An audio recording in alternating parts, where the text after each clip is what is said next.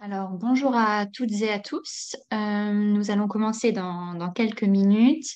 En tout cas, bienvenue à vous dans ce dernier webinaire euh, du cycle, de second cycle de cette année euh, 2022.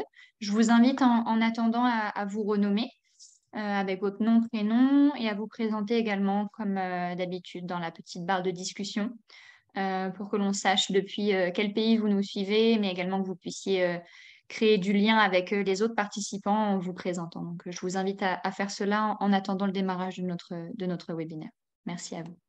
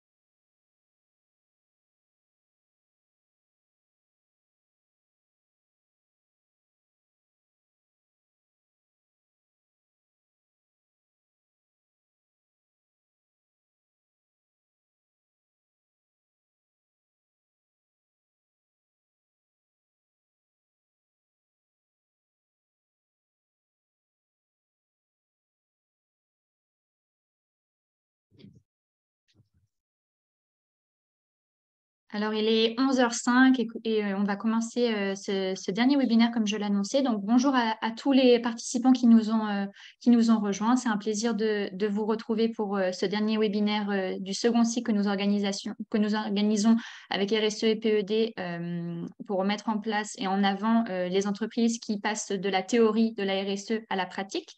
Donc, aujourd'hui, nous allons retrouver Julie Biron et Abdoulaye Ning, cofondateurs d'API Afrique. Ce sera API Afrique que nous allons mettre en avant euh, aujourd'hui. En tout cas, c'est un plaisir de, vous retrouver.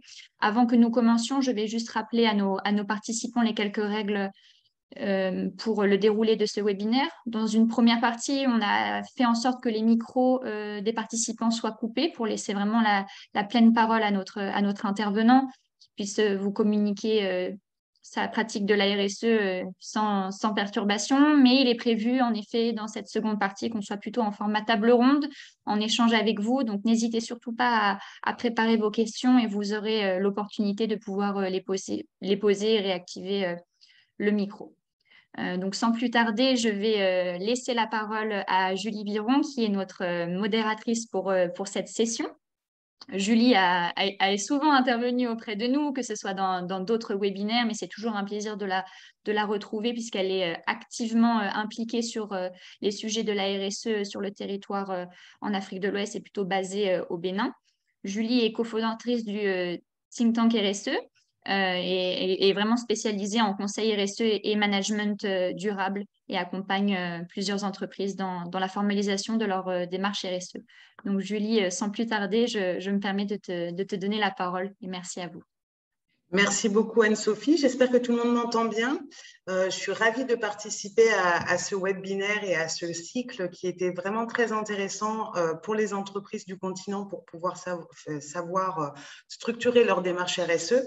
Et c'est encore, c'est vraiment avec un plaisir que, je vais euh, présenter euh, Abdoulaye, qui est euh, donc dirigeant d'une entreprise sociale sur le Sénégal, Happy Afrique, et qui est une des, rares entreprises sur le continent à avoir une certification Bicorp. On a eu une grosse discussion par rapport à ça la dernière fois parce que je trouve que c'est très intéressant d'avoir aussi des, des exemples d'entreprises euh, qui ont une démarche très structurée et qui ont une certification parce que c'est assez rare sur le continent.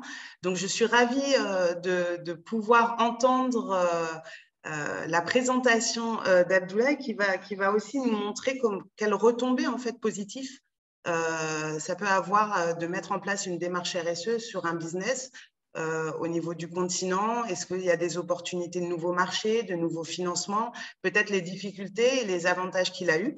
Donc euh, voilà, on sera ensemble avec Abdoulaye pendant euh, à peu près 20 minutes. Après, il y aura 20 minutes de consacration à vos, à vos questions. Donc n'hésitez pas à les mettre en discussion en commentaire. Et après, comme l'a dit Anne-Sophie, on aura le plaisir de pouvoir échanger ensemble pour euh, sur, voilà, sur les opportunités, des partages d'expériences, euh, les difficultés ou autres. Euh, et Abdoulaye sera toujours là pour répondre à vos questions. Donc, bah, merci beaucoup. tout de suite avec la présentation d'Abdoulaye. Abdoulaye, je te laisse la parole, la main. Il me semble que c'est toi qui as, ouais. merci la présentation. Merci beaucoup, Julie. Vous m'entendez bien? Très bien. Merci beaucoup et merci beaucoup pour cette invitation.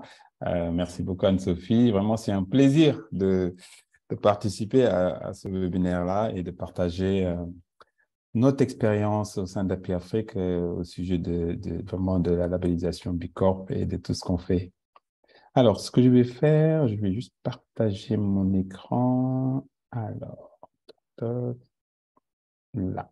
Est-ce que tout le monde voit mon écran? C'est bon de notre côté, en tout cas de mon côté. Je pense que c'est bon pour les participants aussi. Je fais comme ça. En plein écran, oui. là, c'est bon. Et c'est ça. Tout le monde voit. Vous voyez bien mon écran, Julie? On voit très bien ton écran. Euh, c'est bon de mon côté. Je pense que pour les participants aussi. Voilà. Oui, c'est bon de voir. Parfait. Merci beaucoup, Sophie. Anne-Sophie. Euh, alors, nous, euh, donc je vais juste présenter un petit peu Happy Afrique. Happy Afrique, en fait, c'est une entreprise sociale qui est à, à Ngaparo. On l'a on l'a on l'a cofondée avec euh, avec trois autres partenaires, enfin trois autres associés. Nous sommes quatre dans dans l'association, enfin dans l'entreprise, dans le tour de table. Il y a Marina Ning, euh, Jeanne-Aurélie Delaunay et Marianne Barral. On a créé cette entreprise-là en, en 2000, alors, je n'arrive pas à faire comme ça. OK. Alors, voilà. Juste pour le technique. Voilà. Donc, on l'a créé en, en, 2017. Vraiment, euh, nous, on était en France. moi, je travaillais là-bas en France. Et euh, depuis, j'habitais là-bas depuis 25 ans. Et l'objectif, vraiment, l'idée, c'était de venir en Afrique pour vraiment créer quelque chose de d'impactant, pour faire quelque chose qui a du sens. Ah, parce que euh, voilà, quand on travaille longtemps en, France, euh, enfin, j'avais envie de venir revenir au Sénégal, euh, vivre un peu ici aussi et, aussi me confronter aussi aux réalités aussi sénégalaises. Donc j'ai confondé cette société-là avec mes trois associés, les trois femmes. Euh, donc vraiment, l'idée initiale, c'était vraiment euh, trouver les moyens pour euh, réduire les déchets, préserver la santé, favoriser l'autonomie des femmes et créer des emplois durables. Vraiment ça, moi, depuis que j'ai quitté le Sénégal il y, a, plus de 20 ans, 25 ans, j'avais envie de revenir ici pour faire des choses dans ce sens-là. quoi.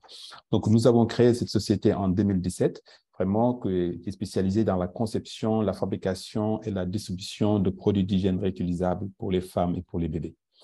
Donc, euh, nous sommes basés à Ngaparo, à 80 km de Dakar, et aujourd'hui, on emploie 26 personnes. Donc, les produits sont vendus ici au Sénégal, en France, dans les pays limitrophes et dans d'autres pays aussi euh, européens et américains aussi.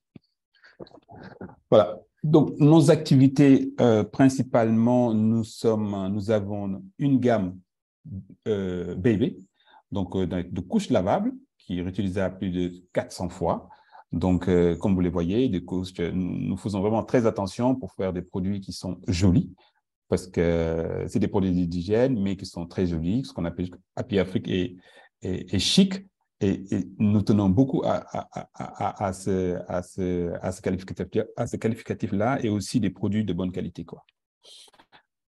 Euh, nous avons aussi une gamme Happy Woman, qui est principalement des serviettes hygiéniques lavables, des culottes menstruelles lavables et des accessoires lavables, euh, qui sont pareils, utilisés plus de 400 fois et qui sont bons pour la santé et vraiment qui évitent euh, vraiment les déchets parce qu'aujourd'hui, en Afrique, comme, dans beaucoup de pays comme le Sénégal, les déchets sont en fléau et l'utilisation de ces produits-là, vraiment, ça permet, par exemple, une couche lavable, ça permet d'économiser 400 euh, couches jetables, quoi. Donc, euh, juste pour faire un comparatif, un enfant en couche jetable, il va utiliser plus d'une tonne de déchets et un enfant en couche lavable, il va utiliser à peine 5 kg de déchets. Donc, ça n'a vraiment pas du tout comme une mesure. Euh, nous développons aussi un programme d'information, euh, des programmes d'information pour les femmes et pour les jeunes filles. Actuellement, nous avons le programme qui s'appelle Where We, qui permet vraiment aux jeunes filles de suivre leur cycle menstruel et de s'informer aussi de tout ce qui se passe sur leur cycle menstruel aussi, de bien connaître leur cycle menstruel et de lever les tabous en Afrique. Parce qu'on sait que, voilà, euh, au Sénégal comme en Afrique, voilà, il y a, y a énormément de tabous sur le cycle menstruel. Donc, nous, nous communiquons beaucoup sur ça. Donc, dans ce programme-là, nous avons une application mobile qui permet aux jeunes filles de suivre leur cycle mensuel. Euh, nous avons un chatbot qui permet de répondre à leurs questions automatiquement. Nous avons un e-shop qui leur permet d'acheter des serviettes hygiéniques euh, lavables et des produits lavables réutilisables. Et nous avons aussi des contenus multimédia euh, sur lesquels on peut échanger. Nous avons aussi un site Internet qui permet aussi d'expliquer de, de, tout ce qu'on fait au niveau de ce programme-là. Alors, c'est quoi la certification Bicorp? Donc, euh, déjà, une petite définition pour pouvoir, voilà, que tout le monde puisse avoir une idée. C'est une, certification octroyée aux sociétés commerciales, aux entreprises lucratives, répondant à des exigences sociétales et environnementales, de gouvernance, ainsi que de transparence envers le public.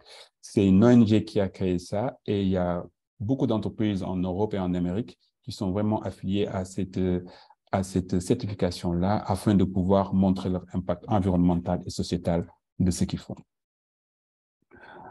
Alors, le processus de certification, euh, c'est, on doit répondre à un certain nombre de questions, à 200 questions qui concernent les thèmes de la gouvernance, les collaborateurs, les communautés, l'environnement et les clients, euh, et avoir un score qui est supérieur à 80 points. Il faut dire que c'est un, processus qui est assez long euh, et qui est assez lourd aussi, mais vraiment, ça, permet de vraiment mesurer notre impact. Euh, nous, on a mis quasiment euh, deux ans, euh, à peu près deux ans, deux ans et demi pour avoir cette certification-là. Comme Julie le disait, nous sommes au Sénégal que deux entreprises à l'avoir, API Afrique et une autre entreprise qui s'appelle la Lettre du Berger. Donc, c'est des questions sur, voilà, moment, tous, les, tous ces domaines-là. Alors, pourquoi API Afrique a, pourquoi API Afrique décore? Donc vraiment, c'est la question qu'on s'est beaucoup posée en, interne, enfin, en interne, afin de pouvoir, avant de pouvoir, avant de, de, de, souscrire à cette, à cette certification-là. Parce que l'idée de base, vraiment, nous, quand on a créé cette société-là, hum, c'était vraiment euh, pour avoir un impact fort en favorisant l'emploi féminin et en garantissant les meilleures conditions de travail possibles. Euh, ça, moi, quand j'ai cinq sœurs, hein, donc j'ai toujours voulu créer des emplois féminins. Et quand je suis revenu au Sénégal, il me semblait vraiment naturel de créer des emplois euh, pour les femmes. Donc, euh, il faut dire qu'au Sénégal, il y a l'emploi féminin comme partout, voilà, surtout des jeunes filles, c'est très compliqué et souvent c'est pas très valorisé. Donc nous, ce qu'on s'est dit, c'est vraiment créer des emplois, embaucher des filles, les déclarer, faire tout dans les règles afin que puissent vraiment progresser personnellement. Vraiment, ce côté empowerment féminin a été très important pour nous. Donc, ça, ça faisait partie de nos, de nos, de nos credos. Mais aussi pour prouver qu'on est une entreprise sociale. Voilà, faire euh, du corps, parce qu'il y a énormément de questions qui concernent l'entreprise sociale. Montrer aussi qu'en euh, Afrique, on est capable de répondre à des standards internationaux. Euh, parce que quasiment en Afrique, il y a, à peine une, vingtaine d'entreprises qui sont Bicorp et euh, toutes les entreprises, et pourtant dans le monde, il y en a plus de 2000, c'est souvent en, Europe et en Amérique du Nord, mais euh, c'est une question de standard, c'est une question euh, beaucoup d'implications de, de, parce que je suis sûr qu'il y a énormément d'entreprises qui, qui peuvent être Bicorp, mais euh, elles ne font pas la démarche et c'est ce qui est dommage parce que ça permet vraiment de, de se crédibiliser par rapport aux clients. Mais bon, euh, clients et les fournisseurs. Mais l'idée vraiment, c'est c'est de montrer qu'on peut faire des produits, qu'on peut faire des services, on peut travailler avec nos, collaborateurs de manière vraiment, euh, euh, de manière, de manière saine et de manière voilà évolutive, ce qui permet d'avoir des impacts vraiment dans tous les domaines de notre chaîne de valeur. Et pour voir où on se situe aussi, pour se rendre compte de ce qu'on fait et ce qu'il nous reste à faire, quoi. Parce que souvent, euh, se mesurer, c'est pas simple. Qu'est-ce qu'il faut des référentiels pour pouvoir se mesurer aux autres aussi. Donc vraiment, ça fait partie des, des, des, des raisons pour lesquelles nous avons décidé de faire, euh, de faire la certification B Corp. Après aussi, voilà, c'est pour avoir des, des, impacts aussi euh, au niveau de toute notre chaîne de valeur. Ça nous permet voilà, d'avoir de, des ressources, de, de regarder qu'est-ce qu'on utilise comme ressources, les ressources humaines, les matières premières, tout ça. Et ça nous permet aussi de savoir les activités, quel est l'impact dans nos activités, qu'est-ce qu'on fait, nos, nos, outils de travail, nos conditions de travail dans notre atelier, nos réalisations, les produits qu'on qu fabrique, euh, à quoi ça sert. Euh, ça nous permet de réfléchir aussi sur leurs impacts aussi. Euh, les résultats qu'on a quand les clients utilisent nos produits, les meilleures santé, qu'est-ce que, quel impact ils ont sur leur santé, sur la réduction des déchets, vraiment sur toute notre chaîne de valeur, nous essayons de, de, de comprendre, euh, parce que le Bicorp nous pose des questions sur tout ça. Euh, donc, ça, vraiment, ça permet de se connaître, de s'évaluer afin de pouvoir progresser. Donc, et avoir des impacts sur le côté social, sur le côté environnemental et sur le côté économique aussi. Euh, vraiment, ce sont ces questions-là qu'on s'est posées avant d'aborder de, de, ce, cette labellisation-là. Donc, après, euh, on va arriver aux impacts sur nos parties prenantes, parce que tout ça, euh, c'est vraiment pour avoir, pour savoir si ce qu'on fait a un impact ou pas sur toute la chaîne de valeur, sur toutes nos parties prenantes. D'abord sur nos collaborateurs. Comme je vous disais tout à l'heure, nous, on est spécial, enfin, on est vraiment euh, à 90% de femmes dans cette entreprise-là. L'idée, euh, on a des couturières, on a des, de toutes les enfin, on a des commerciales, on a, on a toutes les, toutes les, toutes les fonctions de l'entreprise sont quasiment utilisées par des, par des femmes. Il y a quatre hommes dans, dans, dans l'entreprise euh, et plus, plus dynamique aussi quand on se rend compte que sur les collaborateurs, si on arrive à, à, s'évaluer, on se pose des questions, on regarde qu'est-ce qui se passe, dans tout le processus, ça nous a permis vraiment de, dynamiser les, collaborateurs, de les impliquer plus dans le travail. Euh, ça leur a permis aussi de dupliquer des initiatives d'APFX chez elles aussi, chez eux, parce qu'on se rend compte des détails tout simples, hein, quand on fait du compost, qu'on essaie de faire, hein, euh, les, collaborateurs peuvent essayer ça chez eux parce qu'ils découvrent de nouvelles, de nouvelles méthodes de faire, des thèmes abordés.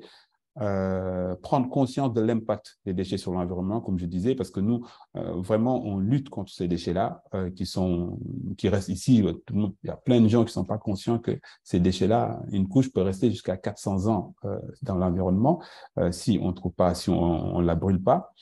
Et, et, tous les déchets plastiques qui existent aujourd'hui, bon, tous ces, tous ces fléaux-là que tout le monde connaît aujourd'hui. Et vraiment, leur donner conscience, leur permettre de prendre conscience de toutes ces problématiques-là qui existent aujourd'hui. Les impacts abordés euh, chez APFIC, par exemple, nous, euh, on, a pas mal d'activités qu'on met en place euh, au sein d'APFIC, des réunions mensuelles, on, essaye de, on, essaye d'inviter des, gynécologues, on essaye tout ce côté euh, social euh, qu'on fait au sein de l'entreprise. On fait des, voilà, des paniers de fruits pour montrer aux gens comment il faut manger des fruits. On, célèbre les anniversaires, on met en, place des, partenariats avec des opticiens, des lunettes, on fait des cours de langue, on fait énormément de thèmes, on fait énormément de choses pour les, pour les, collaborateurs afin qu'ils puissent vraiment découvrir.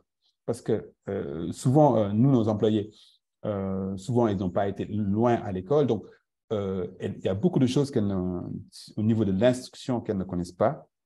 Donc, nous, c'est l'occasion vraiment de, de, leur donner tous ces, tous ces éléments-là, toutes ces connaissances-là, afin qu'elles puissent vraiment euh, avancer dans la vie. Quoi. Parce que moi, je vois les deux employés que j'ai euh, embauchés, il y, a, il, y a, les deux premières qu'on a embauchées il y a, il y a cinq ans, aujourd'hui, euh, elles sont complètement transformées euh, et, et, font vraiment des, des actions qu'on n'aurait jamais pu croire, enfin, penser il y a, il y a cinq ans. Quoi. Donc, vraiment, ça, c'est un, c'est un sujet, enfin, c'est de la satisfaction au, pour nous de voir que nos employés puissent s'épanouir aussi dans le milieu de, de, du travail, parce que on reste au travail du lundi au vendredi. Euh, on a des, enfin, on a des, des, collègues et on voit plus nos collègues que, que, nos familles. Donc, c'est important euh, de pouvoir euh, vivre bien dans l'entreprise. Donc, on fait vraiment attention sur tout ce qu'on fait. Et ça, c'est vraiment grâce aux questions qu'on s'est posées au niveau de la certification Bucop qui nous ont permis de, de, de, de trouver ça. Quoi sur les fournisseurs aussi, parce que ça nous permet de mettre en place des chartes fournisseurs, une charte, une charte fournisseur. Et, et, c'est clair que euh, avec, sans cela, on peut prendre n'importe quel produit. De ce fait, nous, dans nos fournisseurs, on a un cahier des charges. On dit, voilà, nous, on souhaite travailler avec ces, ces, ces matières premières-là. Et ça permet aussi d'avoir une relation plus approfondie aussi au niveau des fournisseurs, parce que bah, de bien les connaître, parce que de connaître où est-ce que aussi ces fournisseurs s'approvisionnent, et, et toutes ces choses-là sont évaluées au niveau de, de, la labellisation. Ça permet aussi de, de nous approvisionner, de nous, de nous, pousser à nous approvisionner de manière plus proche, parce que nous, on a vu que voilà, au, Sénégal, il n'y a, y a, a pas de tissu, on fabrique vraiment, enfin, il n'y a pas de tissu. On fabriquait pas du tout de tissu ici, tous les tissus qu'on porte, c'est hallucinant qu'on ne, tisse pas de, de, tissus et tous les habits qu'on porte sont importés ou les tissus sont importés. Donc, nous, on, travaille avec des, entreprises locales afin de pouvoir les pousser pour pouvoir nous habiter, pouvoir fabriquer ces tissus-là sur le point local. Donc, le fait de rendre notre circuit d'approvisionnement plus court, ça nous permet ben voilà, d'optimiser nos coûts, ça nous permet de faire aussi, euh, de travailler avec, euh, avec des Sénégalais, ce qui a plus de, voilà, de valeur ajoutée aussi au niveau du pays. Quoi. Mais aussi travailler avec des fournisseurs qui utilisent des matières premières respectueuses de l'environnement. Euh, tous ces thèmes-là, ça permet de réfléchir vraiment, qui ont des labels, qui ont des certifications. Euh, donc, chaque produit qu'on utilise, on, essaie, on, demande à nos fournisseurs vraiment d'avoir de, de, des labels, des certifications. Et tout ça, ça concourt vraiment à, à faire progresser notre chaîne de valeur. Au niveau des clients aussi, ben parce que les clients aussi, ça améliore la confiance au produit. Parce que quand on, communique sur ça, ben, ça améliore automatiquement euh, la confiance sur les produits euh, Happy Afrique. Plus compréhensif aussi, parce que les produits sont un peu plus chers, mais plus responsables. Ça, c'est euh, important de l'expliquer aux clients. Et les, clients arrivent à accepter cette, ce coût un peu supplémentaire. Il y a plus de clients aussi qui partagent nos valeurs parce qu'on essaye vraiment de communiquer beaucoup sur ce côté label, sur ce côté euh, impact social, impact environnemental, impact euh, économique. Et, ça, petit à petit, on découvre des clients qui adoptent nos valeurs, qui, comprennent, qui, qui respectent. Et, et ça aussi, je pense que c'est une mission sociale aussi d'une entreprise de pouvoir euh, véhiculer des, messages euh, des messages positifs, des messages qui sont vraiment euh, pour l'environnement, qui sont vraiment pour pouvoir améliorer voilà, ce qui se passe dans nos pays, parce que ce n'est pas simple et ça permet de, de, de, pouvoir mieux communiquer, quoi, de comprendre vraiment, de pouvoir mieux cibler notre communication et de pouvoir mieux l'orienter. Au niveau des partenaires aussi, ça permet d'avoir plus de crédibilité parce que voilà, quand on dit aujourd'hui, quand on discute avec des, partenaires euh, et on leur dit qu'on est labellisé Bicorp, bah, ceux qui connaissent, ou bien quand on leur explique, ça change complètement leur, leur vision, quoi, leur vision de notre entreprise. Euh, et plus de partenaires aussi, parce que euh, aujourd'hui, je pense qu'il y a énormément d'acteurs économiques qui cherchent euh, des, des, acteurs qui sont orientés dans ce sens-là, de, l'impact vraiment euh, euh, et d'expliquer ce qu'ils font. Aujourd'hui, voilà, on ne peut plus faire comme il y a 50 ans sans tenir compte des, des impacts environnementaux et des sociaux et économiques sur le, dans le lieu de notre travail. Quoi. Ça nous permet aussi d'avoir plus de confiance en API Afrique. Voilà, hum, plus de financement. Là, je vois par exemple, quand on fait des demandes de financement, des, concours, quand on met en avant ce côté Bicorp là, euh, là, on a gagné, par exemple, une, fondation suisse qui s'appelle Botnar, qui nous a permis de financer plus de 600 000 euros, qui nous a permis de financer vraiment notre, notre application mobile. Et ils acceptent ça. C'est grâce vraiment à cette labellisation-là qu'on a pu obtenir ces financements-là. Et partout au niveau des partenaires, Aujourd'hui, il existe de plus en plus d'acteurs financiers qui sont vraiment orientés euh, pour les, qui soutiennent ces entreprises-là, qui ont des impacts mm, environnementaux, euh, euh, enfin pour leurs produits, quoi.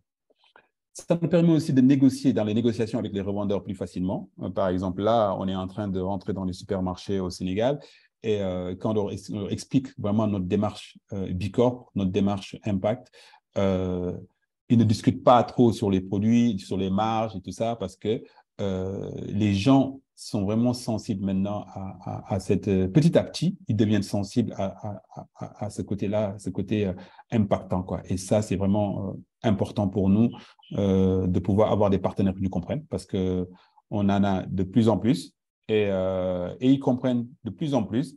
Et euh, je pense qu'avec plus d'entreprises qui vont travailler dans ce sens-là, euh, ce hmm, ça va développer l'écosystème et le réseau. Voilà, sur Happy Afrique aussi, il y a des impacts, car ça nous permet de mesurer euh, nos impacts et de progresser, parce que ça ne suffit pas de dire, voilà, on est comme ça aujourd'hui, mais nous souhaitons être de plus en plus chaque année. Chaque année, on s'évalue, on met en, place des, des, des indicateurs qui nous permettent de progresser, qui nous permettent de savoir où est-ce qu'on en est. Euh, de nous rendre compte aussi de, que ce qu'on faisait naturellement par bon sens a de la valeur. Parce que souvent, euh, les entreprises au, Sénégal, comme en Afrique, font beaucoup de choses, font beaucoup d'actions sociales, mais ne se rendent pas compte que euh, ces actions-là ont de la valeur.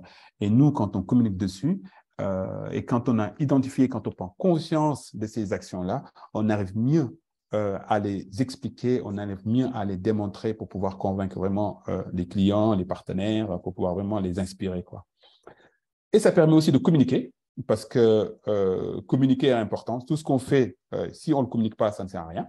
Et, euh, le Bicorp, la labellisation, nous permet aussi de, montrer la manière de communiquer, parce qu'il y a pas mal d'outils qui nous mettent à disposition, qui nous permettent vraiment de, de, savoir mieux communiquer et de faire rendre notre communication plus compréhensible. Se relier aussi à d'autres entreprises qui sont dans la même démarche, parce que c'est un réseau euh, et quand on dit réseau, on dit partenariat, on dit euh, progression ensemble. Et quand on est, enfin, tout seul, on peut aller vite, mais ensemble, on va plus loin.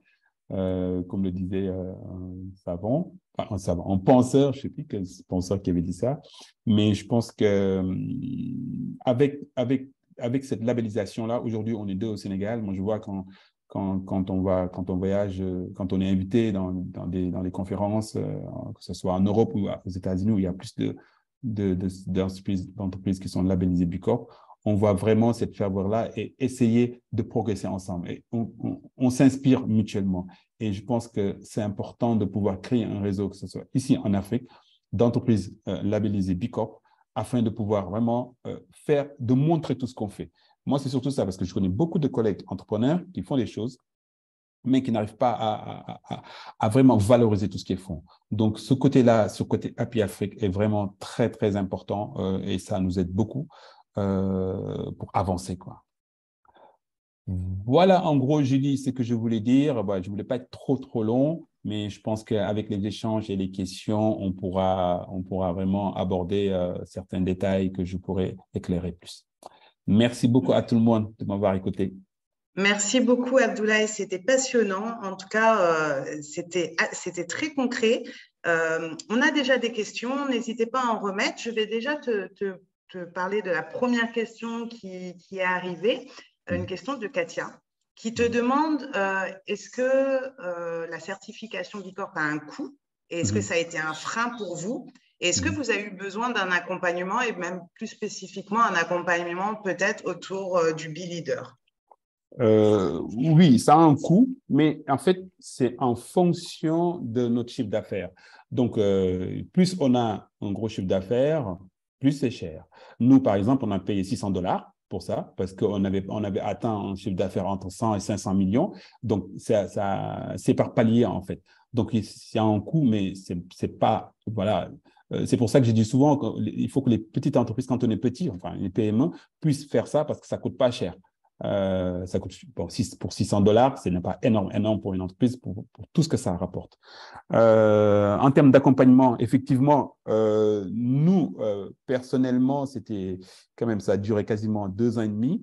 Au début, on a pris une stagiaire pour le faire pendant six mois, bah, qui a bien avancé parce que il fallait avancer sur ce travail-là. Nous, on ne pouvait pas le faire parce que 200 questions, on dit il y a 200 questions, mais il y a plein de sous-questions, sous-questions, sous-questions. De ce fait, quand on est tout seul et quand on est entrepreneur, on ne peut pas toujours le faire tout seul, mais on a besoin d'être là. Parce que moi, je me rappelle, la stagiaire, tous les jours, elle était là à me poser des questions. Quoi.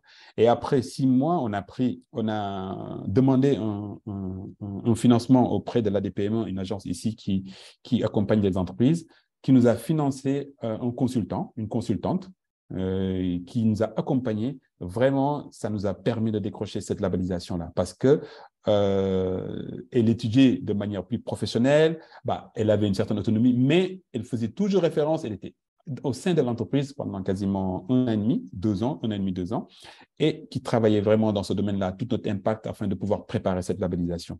Donc, on a eu un accompagnement quand même. Ça, c'était indéniable parce que moi, tout seul, je ne pouvais pas répondre à toutes ces questions-là. Donc, il fallait vraiment, et puis écrire les procédures, euh, ça, c'est important de le faire. Et hum, tout seul, moi, quasiment, c'était quasiment possible. Je serais resté pendant 5 ans, 10 ans sans pouvoir le faire. Quoi. Oui, c'est un long parcours et, euh, et en plus, euh, enfin, voilà, vous, vous êtes une entreprise sociale, donc il y a déjà, c'est le cœur de votre métier, il y a déjà une hmm. raison d'être sur des valeurs. Donc j'imagine que vous aviez déjà des indicateurs, ce qui n'est pas forcément le cas pour des entreprises peut-être euh, qui n'ont pas une action euh, sociale euh, directement dans leur cœur de métier. Donc, j'imagine qu'en effet, c'est un long accompagnement. Je continue avec une question de Katia et après, je vais reprendre les autres, mais c'est juste pour être sur la même thématique parce qu'elle nous dit, donc, de plus en plus de nos entreprises peuvent être, à son sens, en tout cas, certifiées. Mhm. Bicorp. Mais à, ton avis, pourquoi euh, il y a encore si peu d'entreprises qui sont certifiées avec un label international? Est-ce que c'est un manque d'accompagnement ou de formation, selon toi? Moi, je pense que c'est il y a les deux. Il y a un manque de formation, manque d'information. Parce que souvent ici, euh, euh, on n'essaye pas de... On se dit, voilà, ça peut coûter, mais on ne voit pas très bien enfin, ce que ça peut rapporter. Donc, on n'essaye on, pas de savoir tout ce qui se passe en termes de, de, de, labellisation. Moi, je sais que, voilà, nous, personnellement, ça nous a beaucoup été au niveau, parce qu'on a beaucoup exporté euh, en France, en, Europe, aux États-Unis. Mais c'est clair que quand on dit qu'on est Bicorp, voilà, les, les, les, clients, il, faut qu'ils nous évaluent. Ils nous évaluent sur quelque chose. Donc, comparé à une autre entreprise, c'est clair qu'on est, on est, avantageux. Donc, c'est important de pouvoir savoir l'information, de savoir quels sont les labels qui existent, comment on peut les avoir et euh, à quoi ça sert. Et vraiment, la première chose, c'est à quoi ça nous sert, nous. Voilà, moi, ça m'a servi vraiment à faire avancer, à faire avancer mon entreprise, à faire avancer mes collaborateurs. Et après, euh, et voilà, donc ça, c'est important et, la deuxième question, c'était quoi? Ça, c'est le côté information. oui, l'accompagnement et la formation, est-ce que c'est nécessaire? Oui, ouais, euh, l'accompagnement, moi, je dis, moi, je pense que l'accompagnement, c'est obligatoire parce que quand on est entrepreneur, on ne peut pas tout faire. Donc, si vous mettez à faire les 200 questions tout seul, vous allez perdre beaucoup de temps. C'est ça. Mais c'est vrai que ça peut faire peur parce que les labels sont souvent euh, du côté européen ou américain. Et euh, est-ce qu'on. Alors, moi, une des questions, et après je reprends les autres, mais d'après toi, est-ce que justement euh, est-ce que ce label est adapté au contexte africain?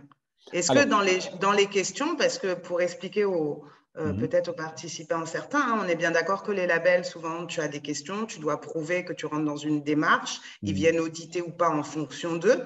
Mais mhm. est-ce que toutes ces questions sont vraiment adaptées? Alors souvent, euh, il y a certaines filiales, donc c'est fait par en Europe ou en Amérique, mais est-ce que c'est adapté au contexte hmm. du continent ou à certains pays? Non, pas toutes les questions. Pas toutes les questions. Honnêtement, euh, il y a des questions, on n'a pas répondu parce que ça ne correspondait pas exactement à la réalité. Donc, on répond en fonction de la réalité et après, on explique. On explique. Donc, euh, mais, mais, mais ce n'est pas 100% hein, parce que le contexte européen est différent du contexte africain. Donc, euh, automatiquement, je n'ai pas d'exemple en tête, mais il y a, je vais en trouver tout à l'heure, mais il y a enfin, pas énormément. Sur le déchet déjà. Mais, mais comment? Sur les déchets déjà. Sur les déchets, la réalité de la gestion des déchets n'est pas la même. Exactement. Et même dans la gestion de nos entreprises, de notre, de nos, avec les relations avec les collaborateurs, moi j'ai mis des cours de, de, français, des cours de. de, enfin, j'invite des gynécologues à pouvoir parler. Les, les, impacts qu'on a, enfin, les impacts qu'on a sont différents des impacts qu'on a en France. Et même en termes d'évaluation de l'entreprise, c'est différent. Quoi. Vraiment, c'est. Mais, mais ça, il ne faut pas que ce soit un frein. Euh, parce que nous, à chaque fois, on répondait à la question, on expliquait pourquoi. Et ils comprennent, voilà, ils, comprennent. Hein, donc, euh, ce n'est pas du tout euh, euh, QCM ou des fois, on, peut expliquer la raison de notre réponse. Hmm. Donc, c'est important de savoir que dans les certifications, on peut contextualiser aussi pour dire qu'on n'est pas à ce score, mais parce que c'est la réalité aussi euh, du continent. Ça vient à une deuxième question euh, mhm. qui a été posée dans, dans, le chat où on demande euh, justement, donc c'est une démarche volontaire et il demande ne peut-on pas la codifier à travers des textes de loi et de réglementation? Est-ce que justement ça, ça pourrait pas aider un peu les pays d'Afrique ou le continent à se dire on rentre dans une norme nous aussi au niveau des pays? Bah, tout, à fait. Moi, je pense que toutes les bonnes actions sont, bonnes à copier parce que je pense que si on, arrive à, trouver euh, une législation adaptée, parce que je pense que c'est des bonnes choses pour la vie, pour l'environnement, pour les employés, et on, peut bien sûr s'inspirer de ces, de ces, de ces, articles-là, de, ces, de, ces, de cette manière d'évaluer pour pouvoir créer aussi euh, euh, une législation euh, ici au Sénégal ou dans nos pays, parce que nous, en tout cas, ça nous permet d'avancer. parce que, comme on dit, la définition, c'est pour les entreprises commerciales à impact sociétal, environnemental et de transparence au public. Donc, ça, je pense que c'est des, des, ce sont des actions que tout, tout gouvernant euh, veut que ce soit démocratisé au niveau de la population, quoi, au niveau des entreprises. Quoi. Donc, moi, je pense qu'on peut s'inspirer de ça pour pouvoir légiférer. Quoi. Hmm. Merci beaucoup. Alors, on sort un peu euh, du domaine de la RSE tout en, restant avec une question euh, de Lanciné qui demande voilà, il a été très intéressé par, par ton entreprise et il se demande est-ce que c'est possible de, représenter, de vous représenter en Guinée euh, mhm. pour vendre vos produits. Et euh, dans ce, dans ce cas-là, si jamais il y avait euh, cette possibilité, est-ce qu'il y a des transferts de compétences qui sont possibles sur d'autres pays d'Afrique en formant en fait Mhm. Déjà, j'imagine en formant sur, sur le métier et, et, sur le produit, mais peut-être aussi sur le côté entreprise sociale, parce que c'est vrai que c'est aussi un autre univers. Le, modèle d'entreprise sociale n'est pas pareil que le, business model classique. Donc, mm. est-ce qu'il y a des, transferts de compétences possibles dans d'autres pays pour essayer euh, de faire des petits bébés de Happy, euh, Happy Afrique? Avec grand plaisir, avec grand plaisir, parce que nous, on s'est rendu compte que les problématiques qu'on vit au Sénégal sont les mêmes problématiques qu'on vit en Guinée, les, en Mali. une de mes associées était au Bénin il y a un, il y a un mois mais c'était, voilà, on, est pareil, il hein, ne faut pas aussi ah se leurrer. Donc, on a les mêmes problèmes, donc les, avec les mêmes, on peut s'inspirer des mêmes solutions. Euh, bien sûr, il y aura peut-être quelque chose à adapter, mais, euh, mais euh, quand on voyage, on voit. Quoi. Donc, avec grand plaisir de pouvoir me représenter. Là, aujourd'hui, nous, on vend nos produits, enfin, on les envoie par, la, par avion, c'est très difficile, par la poste. donc, l'idéal pour nous, c'est de trouver des représentants. Euh, et cette année-là, on s'est vraiment développé, enfin, on essaie de développer au Sénégal, mais après, c'est vraiment décémé au niveau de la Guinée, de la Côte d'Ivoire. On a déjà des clients en Guinée, hein. on a des clients en Guinée, en Côte d'Ivoire, au Bénin, on est distribué là-bas aussi, au Mali, euh, mais on n'a pas de représentants au niveau de la Guinée. Aujourd'hui, on a préparé une commande il n'y a pas longtemps, on a envoyé par la poste. Quoi.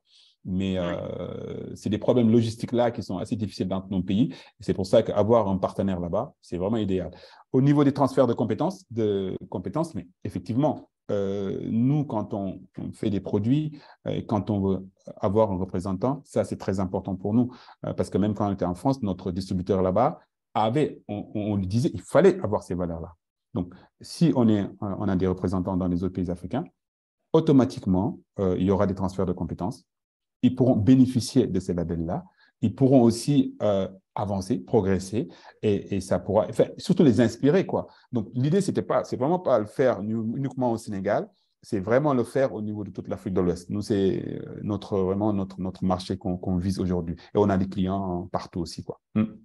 Donc, c'est que ça marche bien et de la croissance au niveau de Happy. Euh, Afrique. Donc, c'est une très bonne nouvelle. Et donc, Lanciné, vous pouvez vous mettre en contact. Abdoulaye mettra ses, contacts dans le, dans le chat tout à l'heure.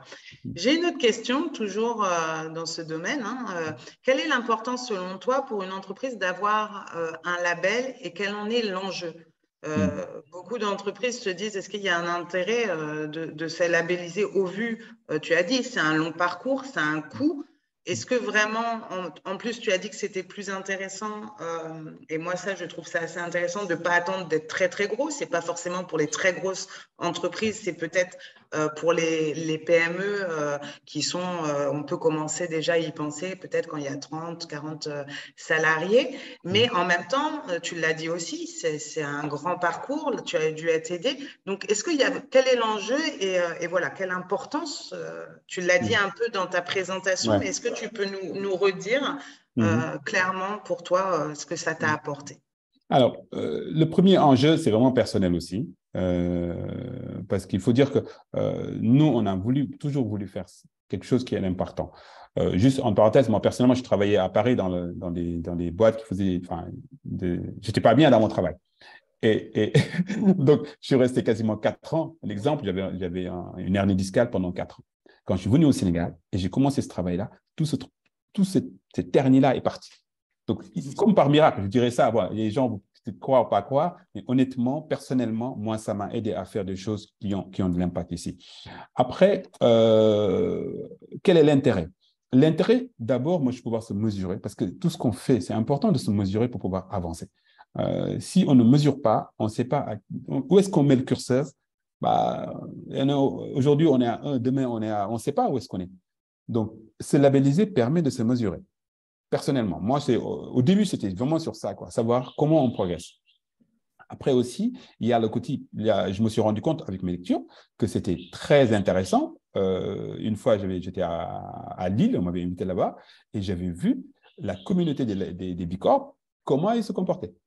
Et que quand un client, une entreprise veut, choisir entre deux euh, prestataires, souvent, ils vont prendre celui qui a la même, euh, qui a le Bicorp. Les Bicorp travaillent entre, Il y a le réseau qui est là. Quoi. Donc, je me dis c'était un intérêt aussi. Parce que là, moi, je voyais certaines entreprises là-bas, euh, comme voilà, euh, Nature et Découverte, des choses comme ça, qui en Bicorp, et j'avais envie de travailler avec eux aussi.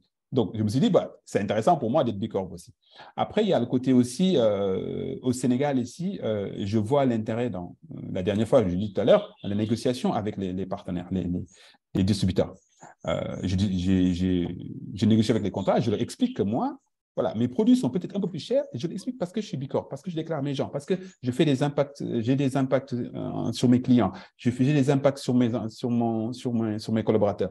Donc, je leur explique tout ça ils ne discutent pas. Vraiment, sur les marges, moi, je dis, voilà, c'est telle marge que je propose parce que je ne peux pas faire plus et j'explique pourquoi. Et les gens l'acceptent parce qu'ils disent, voilà, nous, nous avons des produits sains. Je leur explique que moi, mes produits vont mettre 4, ça, ça remplace 400 produits jetables. Euh, je leur explique, comme j'ai dit, un gamin qui utilise des jetables va mettre une tonne de déchets. Moi, il va mettre quand même 5 kilos de déchets. Donc, ça n'a rien à voir. Donc, c'est des produits euh, que vous devez mettre en valeur. Et aujourd'hui, il y a beaucoup de distributeurs au Sénégal qui mettent en avant euh, les, entreprises sénégalaises parce que ça fait partie de leur charte maintenant de ne toujours pas importer, mais de développer les produits euh, fabriqués par des entreprises sénégalaises. Donc, c'est un intérêt aussi euh, par rapport à, mes, à, mes, à, mes, à, mes, à, nos distributeurs, à nos partenaires. Quoi. Donc, c'est un intérêt, il y a aussi un intérêt financier, parce que je vous dis, si, j'étais pas Bicorp, si on n'était pas Bicorp, on n'aurait pas eu 600 000 euros pour développer notre application. On a fait un concours on a dit, on a expliqué pourquoi on voulait le faire. On a expliqué que c'était Bicorp. Ils connaissaient le mouvement Bicorp. Et c'est vraiment grâce à ça qu'on a obtenu cet argent-là pendant trois ans pour développer l'application mobile. Donc, il y a des intérêts de tous les côtés. Vraiment, il y a, des un gros. Il y a un intérêt, de, payer et de se faire accompagner parce qu'après, ça paye dans le temps et c'est plus quelque chose qui est sur le temps. Tu parlais, il y a, une, il y a une, autre question, tu parlais un peu euh, tout à l'heure des fournisseurs. Donc, c'est vrai que dans les normes RSE, on sait bien qu'il y a tout un travail avec les parties prenantes. Donc là, on a bien vu l'intérêt pour les fournisseurs. La question, c'est ces fournisseurs, tu en as en effet vers l'Europe où les gens, les clients sont sensibilisés aussi à tout ce qui est développement durable, écologie, ou la gestion des déchets et à la réduction. Mais il y a une question qui dit, au niveau du Sénégal, est-ce que le coût lié à la certification n'affecte pas le pouvoir d'achat des consommateurs?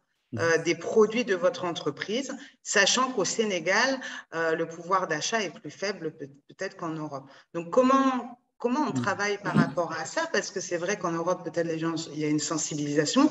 Dans les pays d'Afrique aussi, on est bien d'accord, mais c'est vrai qu'il y avait un pouvoir d'achat qui n'est pas le même. Donc, comment est-ce que ça a affecté le fait qu'il y ait cette certification? Euh, bah, La certification, elle nous a coûté 600 dollars. 600 dollars, c'est 400 000, à peu près. 400 000.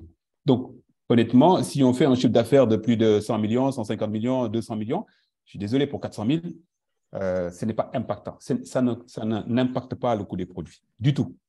Euh, c'est 600 dollars parce que c'est en fonction de, notre fourchette. Si on fait, quand on fera un milliard de chiffre d'affaires, là, peut-être que même, voilà, euh, je pense que le coût de la certification ne joue pas sur le coût des produits. Ça joue vraiment sur notre image mais ça ne joue vraiment pas du tout sur le coût des produits. Donc, effectivement, au Sénégal, il y a, ce côté de, pouvoir d'achat. Mais euh, aujourd'hui, euh, nous sommes en train de nous déployer au Sénégal, enfin, de, continuer notre, progression au Sénégal, mais on explique à chaque fois. Quand j'explique à quelqu'un, si vous utilisez une couche jetable, vous l'achetez à 150 francs, vous la jetez, vous jetez votre argent dans la poubelle. La couche, si vous l'utilisez, elle a un impact environnemental, elle a un impact, elle crée des emplois, je fais, j'embauche des jeunes filles euh, pour, pour pouvoir faire ces couches-là. Et, il y a un impact social, a un impact économique. Les gens, ils comprennent. Hein. Après, effectivement, euh, je comprends tout à fait que moi, ma couche euh, qui va coûter 5 000 francs, avec une couche à 150 000, 105, qui va, qui va durer jusqu'à ce que l'enfant soit propre pendant trois ans ou deux ans et demi, c'est normal qu'elle ne coûte pas 100 francs, 150 francs. C'est tout à fait normal. Mais après, c'est une question de, sensibilisation aussi, d'information. Ça, c'est très important. C'est pour ça qu'on essaie de beaucoup communiquer sur ça afin de sensibiliser les gens sur ces, problématiques-là. Mais bon, les gens, ils comprennent hein, petit à petit. Bon, il y en a, de toute façon, si on n'a pas les moyens d'acheter, on n'a pas, pas, les moyens d'acheter, mais il y a on a des tiers payeurs aussi on a beaucoup d'ONG qui achètent aussi pour des personnes euh, pour financer. Nous, par exemple, là, il y a l'école, ici, on habite à Ngaparou. Toute l'école, il y a des fondations, une fondation suisse qui a acheté pour tout le monde. Il y a des entreprises sénégalaises qui achètent pour leurs employés aussi, parce qu'on leur explique. On fait cette démarche-là, on dit, voilà, nous, on est Bicorp, on défend ces valeurs-là, on a des impacts, nos produits ont ces impacts-là. Donc, voilà, tout est dans la communication, je pense. Tout est dans la communication. Et en termes de coût, ce n'est pas du tout, voilà, c'est pas impactant par rapport au prix.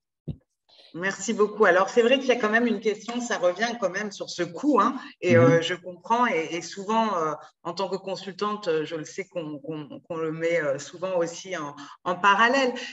il y a pas comme qui me qui demande la certification vous a coûté en effet 600 dollars. Mhm. Mais vous avez oublié les honoraires de la consultante qui vous a accompagné. J'aimerais savoir à combien s'est élevé ces honoraires, en sachant qu'on sait que vous avez Mhm. enfin, pu vous faire aider. Hein, Tu mhm. l'as dit, tu t'es fait aider. Mais c'est vrai que, que, le consultant a aussi un, coût. Et euh, voilà, est-ce que si tu mets tout ça bout à bout, est-ce que ça, ça devient intéressant? Exactement. Effectivement, euh, le conseiller, euh, la consultante m'a coûté de l'argent. Mais cet argent nous a été financé parce qu'on est parti. Moi, je savais que ça allait me coûter. Mais je suis parti. Il y a des agences au Sénégal qui aident les entreprises aussi sur ça. Nous, euh, depuis le début, bah, quand on explique les labellisations, il, y a beaucoup d'aide, il y a beaucoup de, financement sur ça. Il y a des, subventions. L'ADPMO au Sénégal nous a subventionné le consultant pour pouvoir nous, pour nous faire cette labellisation. Et il y a encore beaucoup de... En tout cas, ce que je connais pour le Sénégal, il y a beaucoup de possibilité de se faire financer de ces labellisations. Parce qu'aujourd'hui, euh, je pense que euh, le gouvernement, l'État, essaye de, aussi d'upgrader les entreprises, d'essayer de, trouver des solutions pour que ces entreprises-là puissent exporter. Il y a un bureau des exportations au Sénégal qui s'appelle la, la, CPEX. Quand on y va, on leur explique que nous, voilà, moi, je veux que mes produits soient labellisés parce que j'ai des nouveaux marchés. On leur explique, on fait un BP. Honnêtement, on peut en avoir. On a plus de chances, on a 90% de chances de l'avoir, ce financement-là. Mais bien sûr, moi, tout seul, je n'aurais pas pu financer ça. Ou bien, euh, ça m'aurait coûté un peu plus cher, euh, voilà, par rapport à ce que disait l'impact sur le prix. Mais il y a, les possibilités existent pour pouvoir se les financer. Quoi. Nous, on a, en tout cas, personnellement, on est passé par là, on l'a financé. Et, et nous, personnellement, ça nous a coûté 600 dollars. Après, c'est les subventions. C'est les subventions qui ont. Ce que ça montre aussi, c'est qu'il manque peut-être de l'information sur les aides possibles à l'accompagnement, à la certification. En tout cas, ça veut dire qu'il faut aller les chercher, qu'elles sont peut-être pas aussi visibles euh, pour les entreprises et que ces entreprises n'ont peut-être pas le temps d'aller chercher tout ça et qu'il y a peut-être quelque chose à faire par rapport à ça. Ça sera peut-être un futur, euh, un futur webinaire sur euh, comment se faire accompagner sur la certification. Et les consultants le savent aussi. Et les consultantes, excuse-moi juste, les consultantes, quand on s'approche, quand on se rapproche d'un consultant, bah, il, sait comment on peut faire pour avoir ces financements-là. La consultante, elle sait que voilà, au niveau des paiements, c'est que ça coûte cher, on n'a pas les moyens de le faire, mais il suffit juste de faire la démarche. Si vous voyez une consultante, moi j'ai une consultante, je dis voilà, moi je veux faire ça, ça, ça, il me dit bah, il faut que tu passes comme ça pour trouver. ils savent les, les, démarches à faire pour pouvoir euh, se les financer. C'est ça, tu as raison, euh, c'est très bien de le dire euh, pour, euh, pour les consultants qui accompagnent, dont je fais partie. J'ai une, autre, une autre question de Jean-Marie qui te dit est-ce qu'il y a un travail de profondeur de surveillance, donc un peu le devoir de surveillance qu'on entend un peu de plus en plus, au niveau de la chaîne d'approvisionnement des produits locaux? Parce que sachant que, alors sachant bien que la production du coton est surtout l'œuvre de familles paysannes qui utilisent des enfants et qui ne payent pas bien les salaires euh, de leurs employés. Comment tu travailles euh, mhm. sur cette notion de devoir de surveillance un peu euh, pour pouvoir commencer dans ta chaîne d'approvisionnement? Personnellement, chez Happy Afrique, nous, notre chaîne de valeur, on a quasiment, effectivement, 80% de nos tissus qui sont importés. Donc, au niveau de l'Europe, il y a la traçabilité et je peux suivre, ça. Il y a les certifications, il y a tout, je peux suivre ça. Au niveau du Sénégal, nous avons accompagné, enfin, nous avons accompagné, nous nous sommes rapprochés à une entreprise qui, euh, qui, qui, avait commencé à faire des tissus au Sénégal, qui avait commencé à faire du tissu bio. Euh, effectivement, euh, nous allons les voir. Nous, nous, nous, nous rendons visite à, à nos partenaires. On leur explique notre démarche. Ça, c'est obligatoire. Euh, pour pouvoir savoir de quoi on parle, il faut toujours aller les voir. Donc, en France, en Europe, nous, euh, il y a plus de, rigueur sur ce côté-là, il faut le reconnaître. Euh, mais par contre, on a les certifications. Aujourd'hui, ici au Sénégal, pour pouvoir travailler avec quelqu'un, il faut aller le voir. Il faut voir comment il fait, lui expliquer notre démarche. Et nous, l'entreprise qui faisait du tissu au Sénégal, ben, là, il y a eu des problèmes, il y a eu des ruptures. Euh, mais on est parti visiter l'entreprise, poser des questions, et c'est comme ça qu'on contrôle. Quoi. Hmm. Mais souvent, nos, matières premières, aujourd'hui, nous avons la chance ou la malchance d'importer, mais, mais on essaye quand même de, de, de, de, vérifier tout ce qu'on fait, enfin, toutes les matières premières qu'on utilise, toute notre chaîne d'approvisionnement. Quoi. D'accord, c'est vrai que c'est jamais très facile. Est-ce que tu utilises un peu de plus en plus, il y a des suivis autour de la data, euh, des logiciels qui, permettent d'accompagner un peu euh, ce suivi ou est-ce qu'on vous est, enfin, tu as encore, euh, voilà, comme tu l'as dit, à te déplacer, à sensibiliser avec après la data, bah, après je fais des recherches sur Internet. Hein. Par exemple, tous les tissus que j'utilise, je vais me renseigner d'abord auprès du fournisseur. Je vais voir euh, comment le fournisseur comment le fournisseur utilise. Et quand j'ai l'occasion d'aller en Europe, ben, je les visite. Je les visite. Mais aujourd'hui, je n'ai pas un logiciel spécifique pour gérer cela. J'ai euh, un, carnet où je euh, je euh, prends toutes les certifications, je demande toutes les certifications, je, je, fais des comptes rendus de toutes mes visites. C'est ça qu'on fait en fait, quoi, pour pouvoir euh, être vraiment à l'aise sur ce qu'on avec nos fournisseurs. D'accord. On a parlé de tout ce qui est très positif, des impacts positifs, que ce soit mhm. sur les clients, les fournisseurs, ce que ça t'a apporté. Mais est-ce que aussi tu peux nous parler euh, des impacts sociaux négatifs générés par l'entreprise? Alors, les questions de qui Voilà, les, négatifs. Négatifs, je dirais, euh, c'est plus d'efforts honnêtement, euh, ce n'est pas négatif, mais euh, nous, on, s'est vu, on a passé beaucoup de temps à faire ça.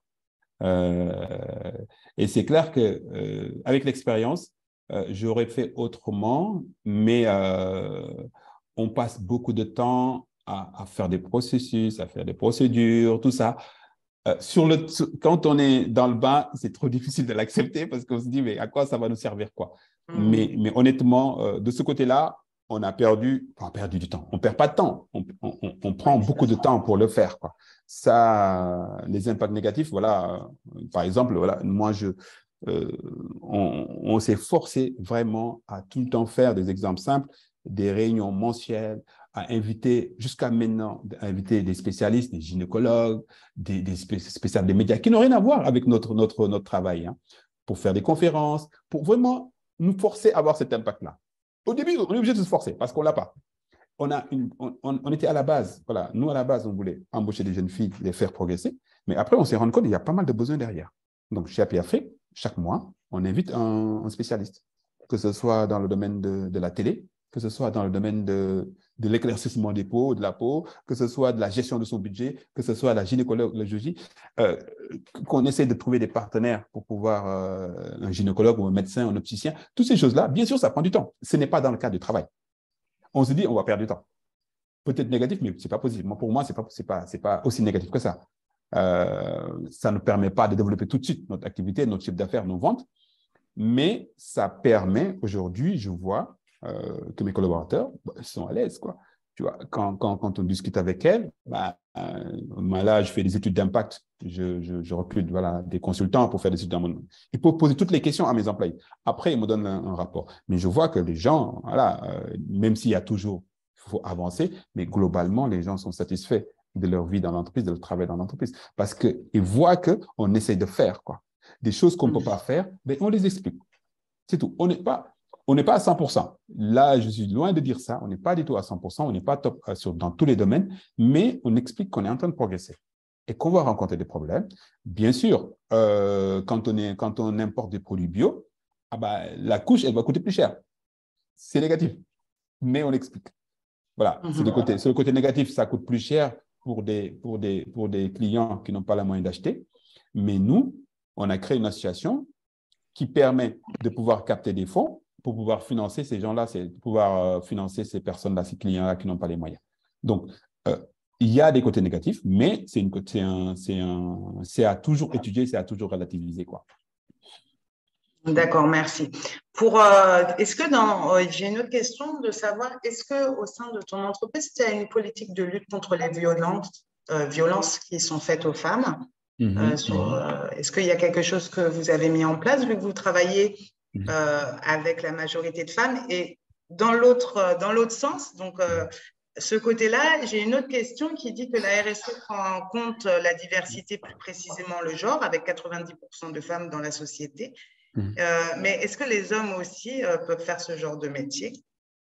Alors, Deux questions qui sont liées au genre, un côté sur la lutte anti-violence et l'autre sur euh, la, possibilité aussi de, mettre en place un travail avec les hommes. Alors, très bonne question. C'est pas de moi, hein. bravo. la lutte anti-violence, nous, ce qu'on fait, c'est vraiment des conférences, on, on évite des, des, spécialistes pour parler, pour vraiment expliquer euh, ce qu'on fait. Enfin, nous, on n'est pas les spécialistes de ça. Hein.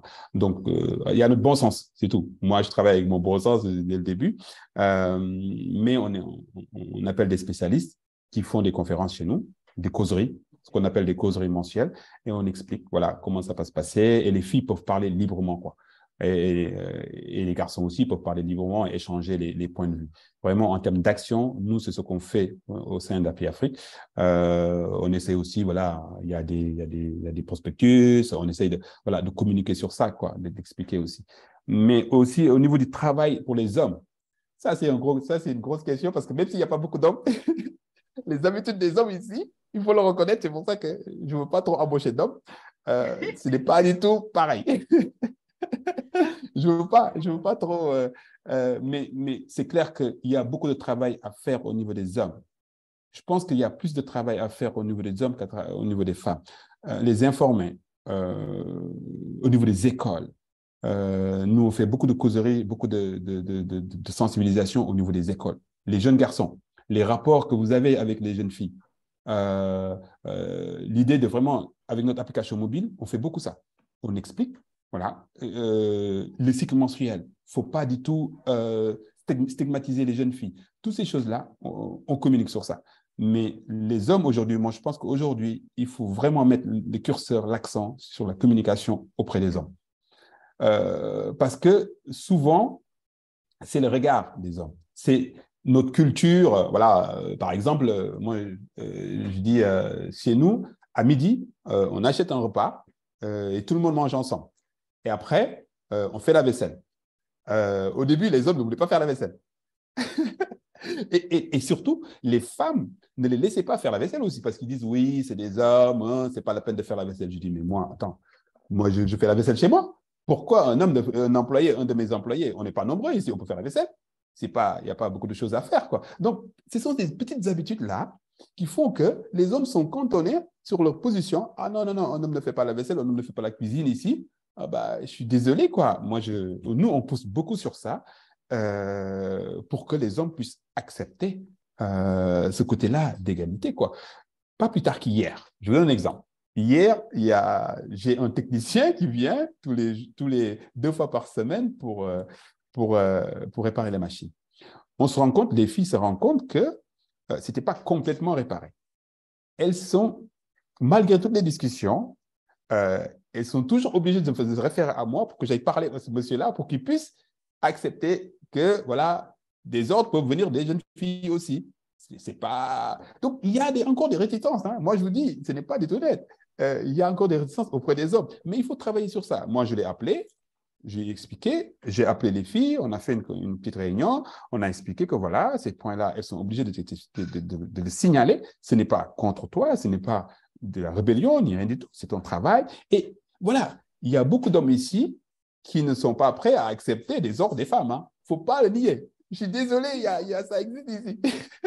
Donc, nous, vraiment, on travaille, on travaille En tout cas, tu as un gros bravo et euh, des gros j'adore de, beaucoup de femmes et j'imagine de, des hommes aussi hein, euh, sur ça. Donc, en fait, ce qu'on comprend, c'est que c'est quand même aussi une culture d'entreprise que tu, derrière euh, toutes ces démarches, on a une culture d'entreprise, on a des valeurs d'entreprise, la vraie raison d'être Mm. Aussi, on parle souvent de raison d'être dans, dans, les démarches RSE, c'est-à-dire qu'il y a aussi toute cette culture d'entreprise qui est là. Donc, euh, mm. c'est assez intéressant.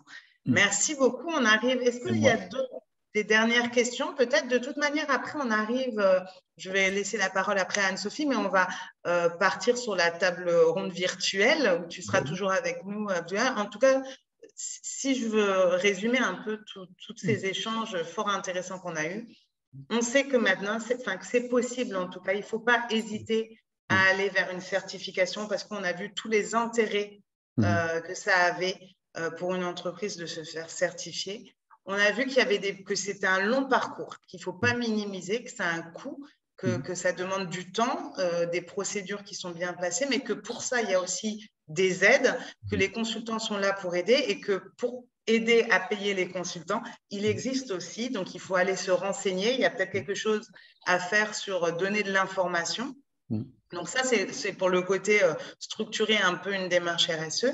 Et derrière, il y a un projet, un impact euh, où il faut aussi mesurer euh, pour permettre de montrer l'impact de, de, nos activités. Il y a un gros travail de sensibilisation Mm. Euh, si, si, si je résume, hein, euh, par rapport à ça, sur euh, tout l'enjeu de, de, travailler sur les volets environnementaux et, et sociaux d'une entreprise. Mm. Alors, j'ai une dernière question. Est-ce qu'il est possible d'avoir la vidéo ou le lien de la vidéo de la dernière euh, session dernière? Je l'avais raté. Oui, bien sûr, je pense que RSEPD euh, vont pouvoir euh, envoyer ça. en tout cas, merci beaucoup. Euh, on continue de toute manière les questions hein, avec Abdoulaye, avec moi-même, avec Anne-Sophie, avec euh, RSEPD. Euh, on va passer dans, dans, la table ronde virtuelle. Anne-Sophie va sûrement donner le principe, les règles et les bases. Donc, en tout cas, merci pour toutes vos questions. C'était très enrichissant. Merci Abdoulaye pour toutes tes réponses, pour ta présentation. Et puis, bah, je laisse la parole à Anne Merci beaucoup, Julie. Merci beaucoup, Julie. Merci beaucoup. Merci Julie, merci Abdoulaye. J'ai trouvé que cet échange était très enrichissant. Il y a eu beaucoup de questions. Merci à toi Julie pour cette brillante modération parce que c'est vrai que j'ai vu qu'il y avait le flux des questions, tu as su synthétiser et, pouvoir permettre à Abdoulaye de, pouvoir tout aborder.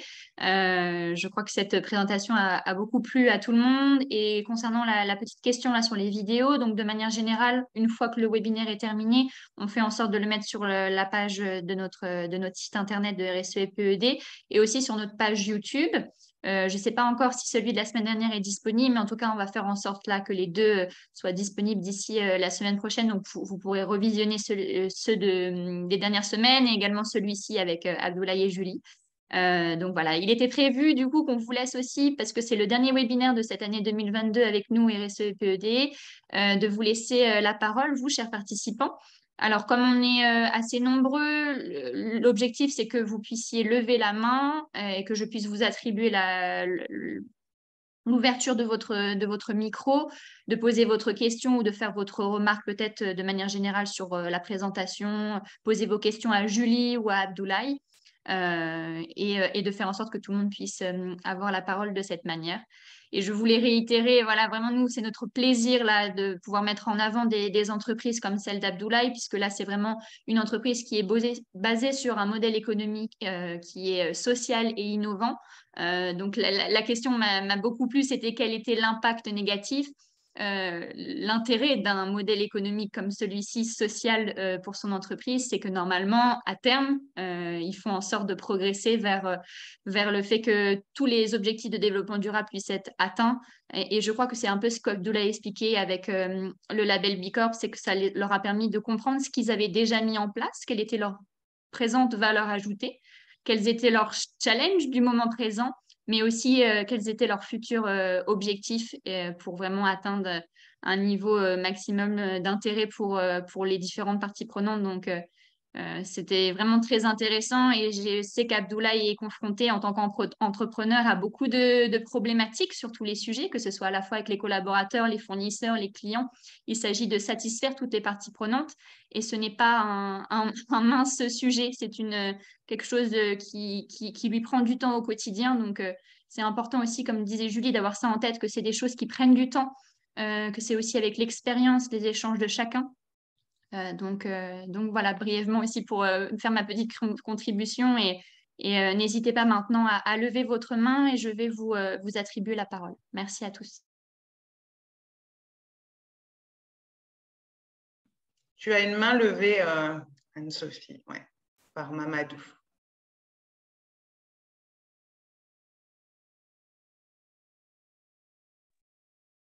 Est-ce que Mamadou, vous pouvez euh, ouvrir votre micro et poser votre question ou faire votre, votre partage Allez-y. Normalement, vous, vous avez euh, la possibilité de le faire. Bonjour à toutes, bonjour à tous. Euh, je suis Diallo Mamadou Selmi, je suis euh, nationalité guinéen. Je suis jeune entrepreneur, créateur et responsable d'une entreprise nommée Juste de Plus, une entreprise spécialisée dans la fabrication des emballages bio, emballages à papier, dans le but de lutter contre la pollution de l'environnement par les déchets plastiques. Maintenant, là, nous évoluons de façon artisanale aussi, c'est-à-dire nous fabriquons avec les mains. La question que je voudrais poser, est-ce qu'il y a des actions envisagées pour euh, encourager ces genres d'activités dans les pays africains et il y a une nécessité d'accompagnement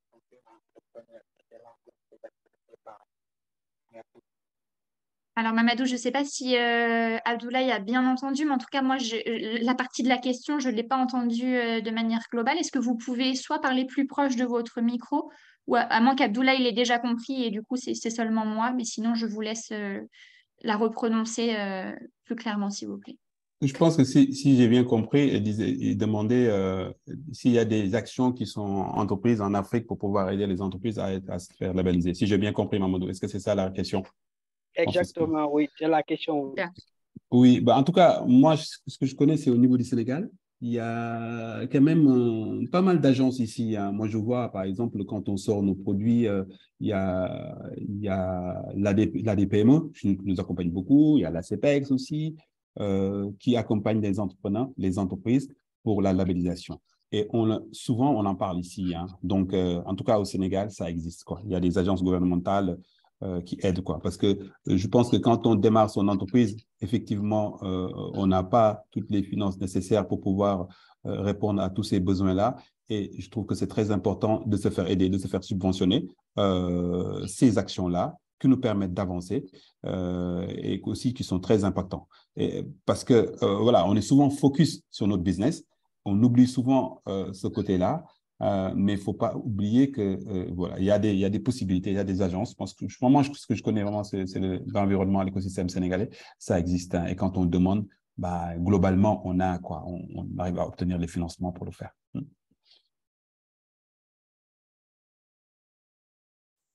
Après, pour les autres est-ce que Abdoulaye a pu répondre à votre question?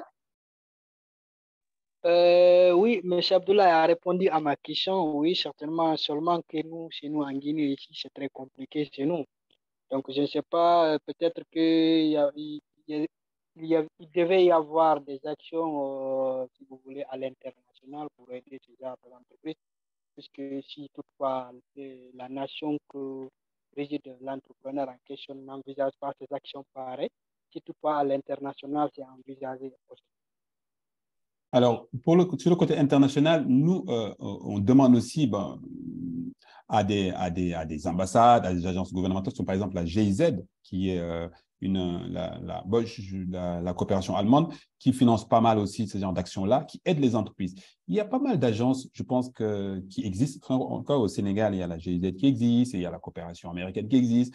Et quand on leur demande, quand on leur explique la, problématique, ils ne sont pas du tout réticents financer. Hein, parce que nous, euh, vraiment personnellement, au niveau des préfets, on a été euh, subventionnés sur ce côté-là et sur d'autres domaines aussi. Il suffit juste d'aller expliquer, d'aller voir les agences. Même s'ils ne le font pas, vous allez leur expliquer, vous leur dites, voilà, moi, c'est ça ma démarche. Et généralement, moi, je dis 70%, 80%, il y a possibilité de, trouver des, subventions pour le faire.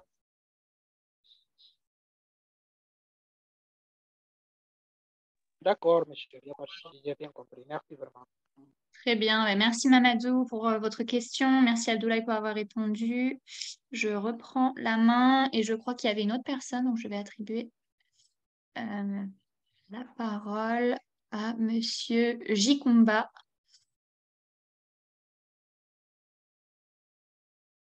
Est-ce que vous pouvez activer votre micro à présent?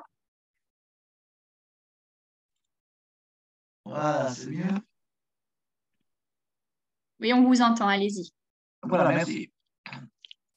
Alors, j'ai été très intéressé par l'intervention d'Abdoulaye, hein, c'était très bien, pédagogique, et surtout qu'on euh, a besoin de témoignages hein, pour ce type euh, d'intervention d'opération. Alors, moi, ma question était la suivante.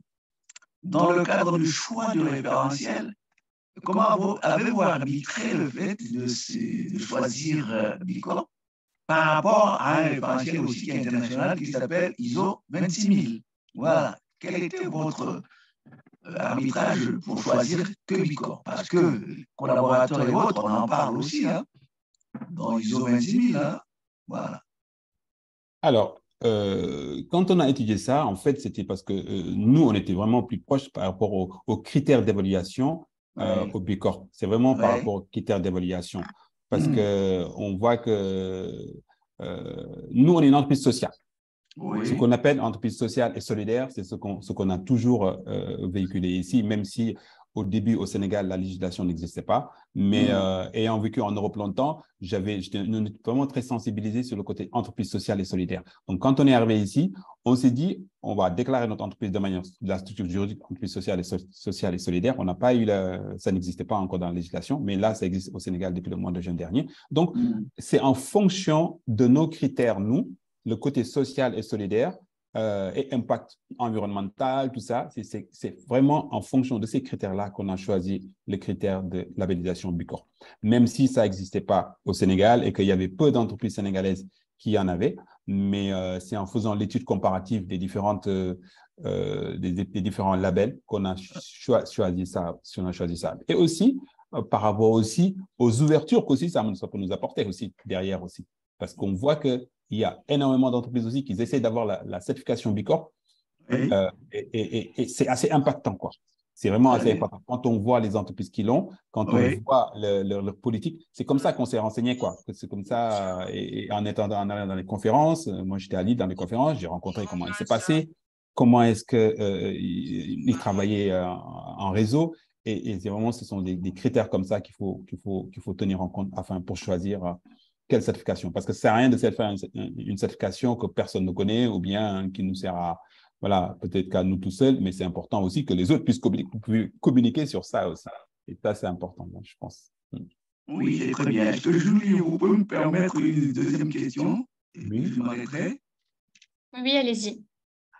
Alors, euh, Abdoulaye, euh, je disais tout à l'heure que j'étais bien intéressé par l'intervention, mais j'étais resté quand même avec une petite soif. Mm-hmm. Vous avez, euh, quand vous parliez des parties prenantes, collaborateurs, fournisseurs, tout ce monde-là, mhm. euh, j'ai vu que vous nous annonciez beaucoup ce que vous faisiez ou ce que vous pouviez tirer de ce monde-là. Mais il n'y avait pas beaucoup d'indicateurs en exemple, parce que c'est, on aime bien quand même des, chiffres. par exemple, si je prends, il y avait quelque chose qui était au niveau des collaborateurs, épanouissement des femmes. Mhm. Alors, comment vous, la mesure, vous la faites comment pour savoir connaître les des femmes? Vous mesurez comment Alors, ce genre de choses, a besoin de ça hein, dans ce type d'intervention. Non, mais bonne question, bonne question. oui. Effectivement, effectivement, c'est pas facile à évaluer. Mais nous, ce qu'on fait souvent, euh, on prend des cabinets où des, des, des, des on, fait des, on fait faire des études, on fait des questionnaires. Euh, voilà, moi, je choisis pas mal ici. Il y a des écoles de commerce et tout ça. J'essaie de faire des choses qui ne me coûtent pas énormément cher. Hein. Je suis une entreprise, tout ça n'est pas, pas payant. Hein. On peut trouver énormément d'études, des, des, cabinets qui sont prêts à faire des études gratuitement ou des élèves d'école de, commerce. Et on rédige des questionnaires ensemble et mm. on, on, les, on interroge. Je fais ça pendant deux ou trois fois dans l'année et j'ai une étude d'impact à la fin aussi euh, que, je, que je publie. Euh, et aussi, voilà, je discute aussi avec mes, mes employés. Euh, là, je vous donne un exemple. La dernière, mm. Moi, depuis, depuis six ans, quand j'ai créé l'entreprise en 2017, jusqu'à maintenant, euh, il n'y a pas eu de démission. Pourquoi? Mm. Il n'y en a qu'une seule. C'est des indicateurs. Hein. Il y a une seule qui est, qui est, à un moment donné, et me disait, voilà, je voulais partir parce que j'ai ma tante qui me disait que oui, Abdoulaye, au niveau salaire, euh, je n'étais pas super bien payé. Je lui dis, OK, moi, je lui dis, euh, c'est ça que je peux payer. Vraiment, il n'y a pas que le salaire qui est important, il y a tout l'environnement. Oui. Elle est partie. Elle est partie, elle a trouvé un autre travail. Et pendant 15 jours, elle m'a appelé en pleurant pour me dire, Abdoulaye, je veux revenir. Ce que je vous dis là, c'est tout à fait vrai. Elle est revenue. Et je lui ai dit, il n'y a aucun souci, elle est revenue. Donc, tout ça, c'est des indicateurs. La dernière fois, je parlais avec une de mes employés. Je disais, voilà, euh, il faut peut-être prendre des vacances, c'est important, tout ça. Et elle me disait, Abdoulaye, je préfère ne pas prendre des vacances parce que chez moi, quand je prends des vacances, c'est juste pour faire la cuisine. Mm. Donc, je préfère venir, j'ai appris, appris de travailler ici que de partir, que d'aller chez moi, de faire la cuisine. Vous voyez, tout, ces, tout ça, c'est des indicateurs qui nous permettent de dire, d'évaluer l'épanouissement des gens. Euh, quand je fais, par exemple, euh, des, des, des, anniversaires, tout le monde est là, euh, tout le monde, on a fait des, systèmes de binôme dans l'entreprise pour que les gens puissent accompagner les nouveaux. Toutes ces choses-là, toutes ces petites mm-hmm. choses-là, euh, ce sont des, indicateurs qui me permettent de dire, voilà, d'évaluer l'épanouissement où les gens, bah, Oui, s'il y a des scandales dans mon entreprise, je dis voilà, s'il y a des disputes, on essaie de voir. Euh, il n'y a pas beaucoup de disputes. Bien sûr, on est entre humains, des fois, il y a des différences sur le travail, mais, globalement, moi, c'est comme ça que j'essaie d'évaluer. Mais je fais des questionnaires quand même euh, que qui me permettent de faire une, une étude d'impact que j'ai publiée là sur mon site internet. Si vous pouvez y aller, il y a, il y a, il y a, mon, il y a mon, étude d'impact de l'année dernière. Quoi. Donc, c'est comme ça que je fais pour évaluer. En fait. Effectivement, moi, je suis quelqu'un de chiffres aussi. Il faut des chiffres. Je ah, dire, 60%, 40%, j'aime bien les chiffres aussi. Mais euh, là, la dernière étude que j'ai sous les yeux, une étude d'impact qui a été faite par des étudiants de Sciences Po Paris qui ont, sont venus, qui ont interrogé mes étudiants, mais, enfin mes, mes, mes collaborateurs. Euh, j'ai, euh, si vous voulez, je peux vous communiquer après, plus tard, les, les, indicateurs. J'ai euh, des pourcentages comme oui. 40% sont contents sur leur salaire ou 90% sont contents sur l'environnement. j'ai des études, voilà, chiffres sur lesquels je peux me baser pour répondre. C'est intéressant. Bon, merci infiniment. Merci beaucoup. Voilà. Voilà, j'ai terminé. Ben, merci à vous pour votre question. Je pense qu'elle était très intéressante. Merci à Abdoulaye pour, euh, pour ces exemples en fait concrets. Et je pense qu'en effet, d'évaluer la qualité, c'est peut-être des fois plus, plus compliqué que là que d'annoncer un indicateur euh, quantitatif. Donc, euh, merci à vous pour ce partage. Merci pour votre question. Je crois que maintenant, Augustin Diouf, vous avez levé la main. Je vais vous donner la parole. Est-ce que vous pouvez allumer votre micro? Oui, bonjour. Allez-y, Augustin. Bonjour, allez-y. D'abord, je tiens à remercier M. Abdoulaye pour sa belle présentation et aussi euh, toute l'équipe RSE dans les entreprises africaines. Vous me recevez bien? Parfait. D'accord. Alors, aujourd'hui, ce n'est pas plus une question, mais ça, ça va être juste une, une interrogation à tout le monde, mais aussi une contribution. Nous, on est une société minière ici au Sénégal et nous travaillons dans l'exploration minière. Et donc, dans le cadre de nos activités, en tant qu'une entreprise en exploration, nous faisons de, de la RSE. Et donc, cette RSE se fonde essentiellement sur un diagnostic, c'est-à-dire l'état de référence de notre situation. Nous sommes venus dans un premier temps et faire ce qu'on appelle euh, un état des lieux à travers un questionnaire qui nous a permis un peu de voir par rapport à l'existant les différents services sociaux de base qui existent, notamment l'accès à l'eau potable par rapport aux communautés, à, la santé de base, au développement économique, entre autres domaines d'activité. Aujourd'hui, nous avons cinq domaines d'activité sur lesquels nous intervenons, notamment l'accès à l'eau potable, nous avons aussi euh, la santé de base. Au-delà de la santé de base, nous intervenons dans le développement économique, dans l'autosuffisance alimentaire, la sécurité alimentaire. Alors, maintenant, euh, nous avons aussi plusieurs contraintes, sinon difficultés que nous rencontrons. D'abord, nous avons pu établir un état de référence qui nous permet de savoir les actions à mettre en place pour promouvoir le développement au niveau de notre zone d'intervention, sinon améliorer la qualité de vie des communautés hautes. Mais les contraintes se situent où exactement pour pouvoir intervenir, sinon agir? Euh, pour ces communautés-là, nous devons passer par la grande porte. La grande porte, c'est qui? La grande porte, ce sont les, les communes et le conseil départemental. Et donc là, en voulant passer parfois à travers ces, ces, portes d'entrée-là, nos actions peuvent être réorientées ailleurs que notre zone d'intervention.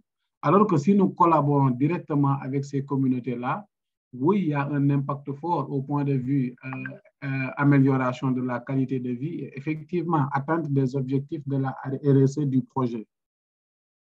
Mais c'est toujours difficile de collaborer directement avec ces communautés villageoises-là sans pour autant passer par, par euh, la, les collectivités territoriales. Donc, c'est vraiment cette interrogation-là que vous, en tant qu'expert, spécialiste sur la question, que j'aimerais vous poser afin que s'il y a des possibilités d'amélioration par rapport à ce que nous faisions, nous puissions au moins savoir euh, voilà, la stratégie à, à suivre. Merci. C'était ça l'interrogation.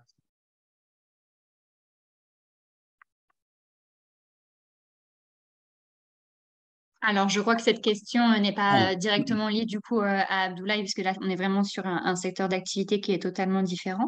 Euh, Augustin, ce que je vous propose, c'est que RSE EPD travaille aussi sur des questions, sur les sujets de, questions minières au Sénégal, avec l'ONG La Lumière que vous devez connaître dans la région de Kédougou. Ce que je vous propose, c'est de me laisser votre, votre adresse mail ou de m'envoyer un mail. je vais vous la mettre dans la boîte de discussion. Euh, et on pourra rééchanger peut-être plus précisément, vous et moi, sur ce sujet-là, à moins que quelqu'un d'autre euh, ait, une remarque à faire. Mais, euh, mais en tout cas, c'est ce que je vous propose là tout de suite pour ne peut-être pas rentrer dans de longues discussions sur, sur le, les questions d'extraction minière au Sénégal. Assez rapidement, je peux lui répondre oui, vas-y, Placide. Excuse-moi, j'avais pas vu. Vas-y. Oui, donc bonjour, bonjour tout le monde. bravo Abdoulaye pour, pour ta présentation. Bravo Julie pour la modération. Euh, alors, euh, Augustin, ce que, alors moi, je, je, pour répondre, j'aurais tendance à plus, euh, plutôt vous poser des questions. Mhm. Mais le, ce à quoi vous faites référence ou le problème auquel vous faites référence est, est, situé en amont. Parce que, effectivement, bien évidemment, il y a plusieurs manières ou méthodes pour des entreprises de s'engager dans des, dans des démarches de RSE. Et euh, ce que vous avez dit est fortement euh, corrélé en lien avec euh, le contenu local. Mhm. qui, est, qui est très en avance au Burkina Faso. Alors, le problème que vous avez, il se limite, il est, il est, il est en lien avec un sujet spécifique qui est la cartographie de vos parties prenantes. Mhm. Effectivement, en amont, je ne sais pas si vous avez réussi à réaliser un travail de cartographie euh, de vos parties prenantes dans le cadre euh, de ce projet. Donc, euh, il y a, dans le cadre de la cartographie, il y a généralement deux outils. Bon, sur le précédent webinaire, j'avais présenté cela. Il y a le niveau de relation moyen avec vos parties prenantes et le niveau d'importance moyen de ces acteurs.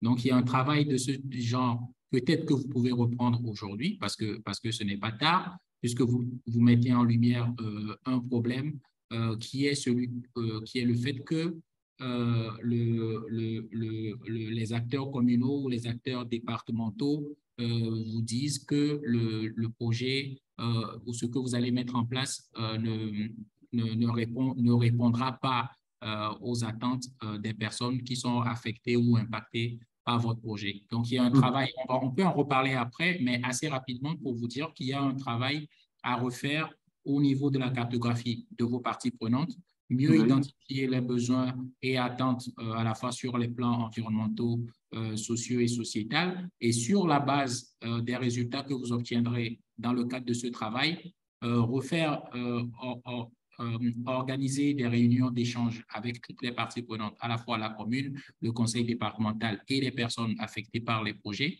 Et sur cette base, maintenant, pouvoir prioriser vos actions euh, et pouvoir les mesurer sur la base des données de référence que vous avez collectées dès le départ. Assez rapidement, euh, c'est ce que je vais dire.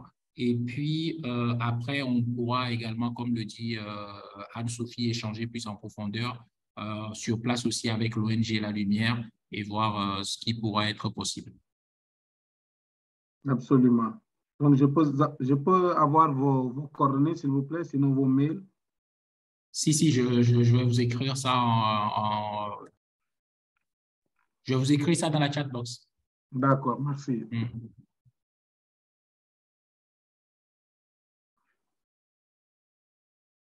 C'est bon. Merci beaucoup, euh, Augustin. Mm. Merci, Placide. Excuse-moi, j'étais sur mute. Donc, merci euh, à, tous les deux. En effet, je, pense que c'est un vaste sujet et, en parler là, euh, c'est peut-être déjà bien d'avoir lancé la discussion. Je vais aussi vous, mettre mon mail dans la, boîte de discussion et je vais donner la parole à, à Lanciné. Allez-y. Est-ce que vous pouvez allumer votre micro?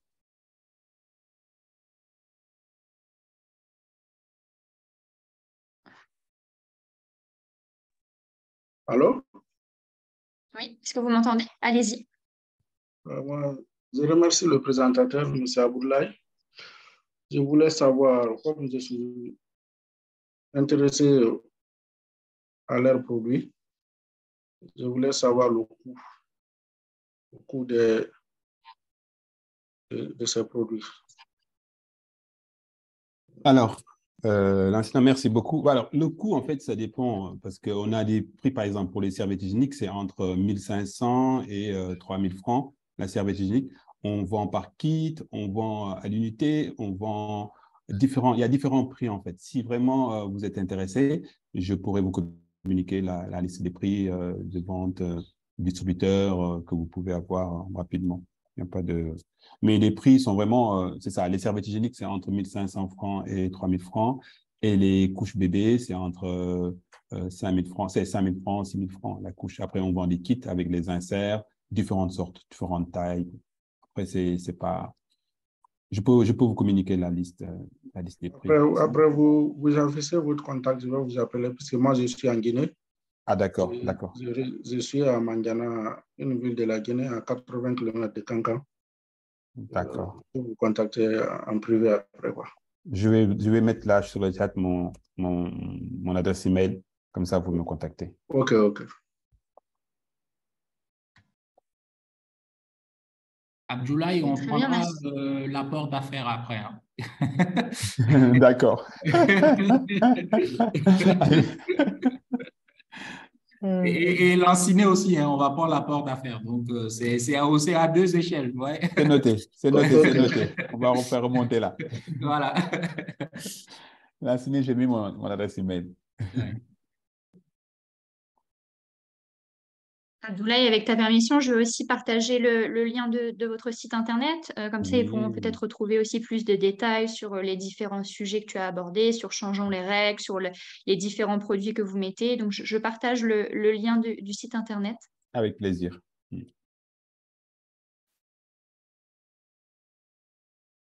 Est-ce que vous avez d'autres questions ou est-ce qu'on a fini euh, ce tour de table? Est-ce que Placide, tu avais peut-être une question toi aussi particulière ou d'autres choses à, rajouter sur, euh, sur les, questions qui ont été posées? Alors, pour ma part, euh, je, n'ai pas de questions particulières. si on a fini le tour de table par rapport à la, au webinaire d'aujourd'hui, donc, étant donné que c'est le le dernier webinaire de l'année. Euh, je, je, voilà, je voulais profiter de, cette table ronde euh, pour recueillir peut-être deux, trois avis des, participants qui nous ont suivis depuis le, depuis le, depuis le, début, depuis le début de l'année ou bien depuis le début du cycle. S'ils ont des retours à nous faire, voilà, c'est l'opportunité. S'ils ont des recommandations à nous faire pour, pour, le, pour les, les prochains cycles de webinaires de 2023. Euh, ce sera également l'opportunité. Et puis, euh, un, dernier point, informer aussi informer sur le, le fait que nous, nous, allons lancer la campagne d'adhésion à l'association dans les, dans les jours et, semaines à venir. Et donc, euh, inciter la plupart des participants pour, des participants pour, pour adhérer à l'association. Euh, à cause de, alors pour la simple et unique cause que voilà, nous allons un peu changer les règles à partir de, 2023 euh, sur les, avantages d'être membre ou adhérent à l'association, euh, beaucoup plus de sollicitations des acteurs qui seraient intéressés de nous accompagner, de, de, travailler avec nous et mieux impacter la communauté en Afrique et au-delà. Donc, si vous avez des questions, des retours, euh, ou des recommandations ou, des, ou même des suggestions. Donc, c'est peut-être le moment de, euh, de nous le faire en live euh, pour qu'on puisse, nous aussi, au quotidien, nous améliorer et, vous proposer du contenu de qualité. Merci. Très bien, ben, merci Placide. Je me suis permise de vous renvoyer le lien pour adhérer à RSE et développement, comme le disait Placide. C'est un lien Hello Asso. et je vois du coup qu'on a une première contribution de Mamadou. Je vais vous donner la parole. Allez-y, Mamadou, vous pouvez ouvrir votre micro. En fait, euh, madame, moi, je voudrais savoir si euh, vous avez pensé à installer des antennes dans les différents pays, c'est-à-dire des antennes de base pour l'association. Moi, ça me refait comme tout à l'heure, je, vous entends très mal. Est-ce que quelqu'un a entendu Placide, tu as entendu la question? J'entends très mal. Oui, euh, il voulait savoir si euh, on a installé, euh, si nous disposons d'antennes dans les autres pays d'Afrique. effectivement, on a, on a des, représentants qui sont dans différents pays d'Afrique.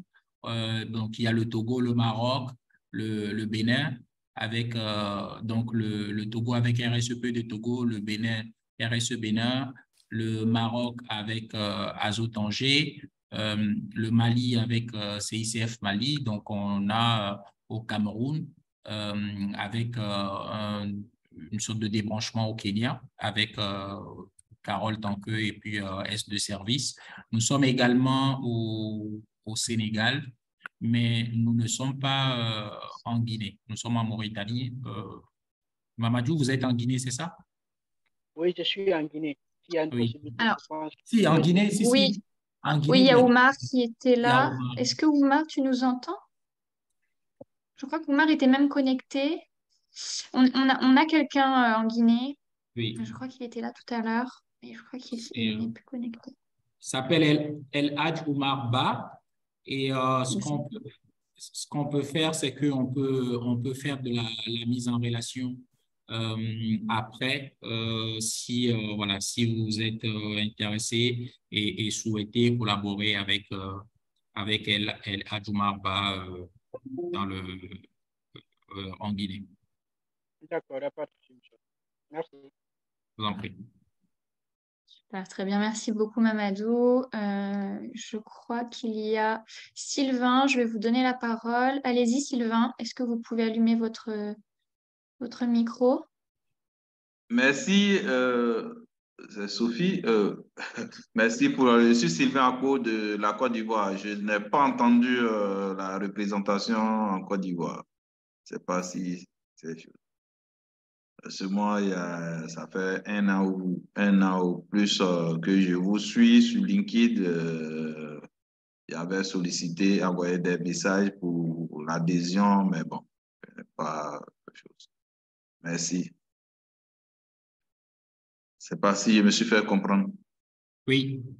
Ah oui, on a, on a, entendu la question. Donc, on n'a pas une représentation directe euh, en Côte d'Ivoire. Alors après, pour la, pour la prise de contact avec des personnes, est-ce que c'est une prise de contact avec des adhérents de notre page sur LinkedIn ou avec euh, une personne représentante de RSEPED C'est peut-être ça ma question. Parce que je moi, je ne pense pas avoir déjà échangé avec vous, euh, Sylvain.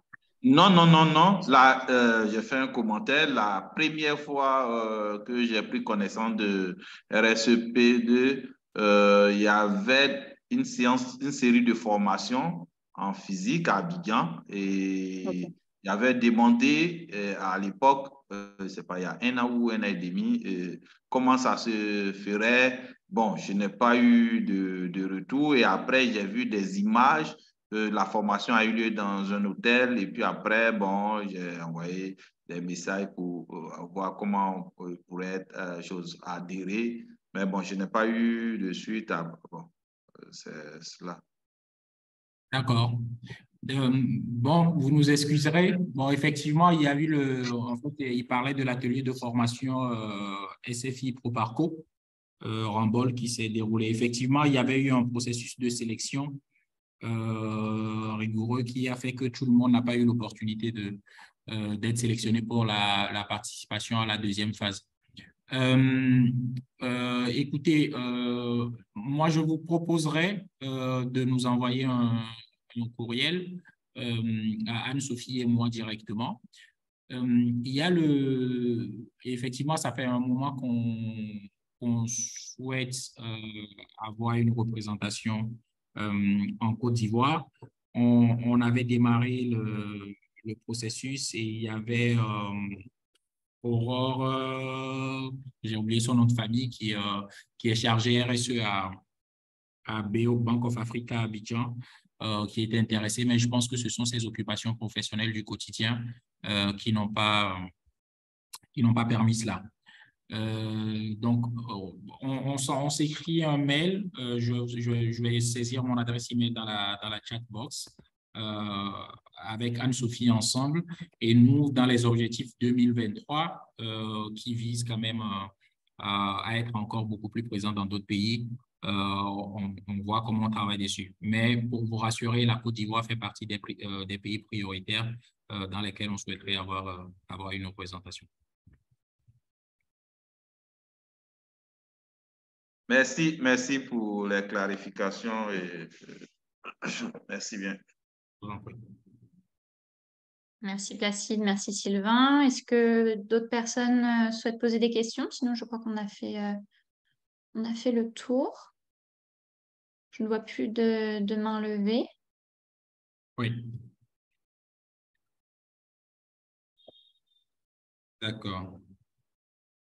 Alors, je vois qu'il y a beaucoup d'échanges dans, dans, la boîte de discussion. Euh, Euh, alors, je... écoutez, moi, je vais récupérer le, le mail euh, de... Il serait intéressant si, euh, donc, en Guinée et puis au Cameroun, que, que vous nous laissiez vos adresses mail et on fait la mise en relation. Exactement, donc on, va faire ça et c'est donc une très bonne remarque pour nous, hein, là, comme le disait Placide pour notre euh, année 2023, c'est de faire en sorte que, les contacts et l'accès avec nos représentants RSE et développement dans, les pays en Afrique euh, euh, francophone puissent être visibles et accessibles par vous. Donc c'est un point que l'on note et on va faire au mieux pour, répondre à, ce besoin. Donc merci à vous en tout cas. Je vois que vous avez laissé les mails. Alors, je vais prendre, euh, donc, on a celui du Cameroun. Ouais. Donc, c'est Railway. Vous pouvez me donner votre numéro de, le numéro de téléphone euh, Railway, s'il vous plaît?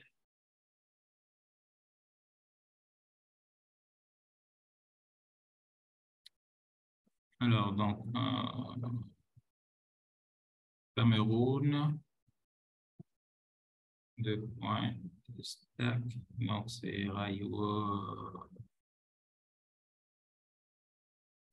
Euh, J'en profite, Sylvain, si vous pouvez nous laisser votre adresse email et votre numéro de téléphone aussi.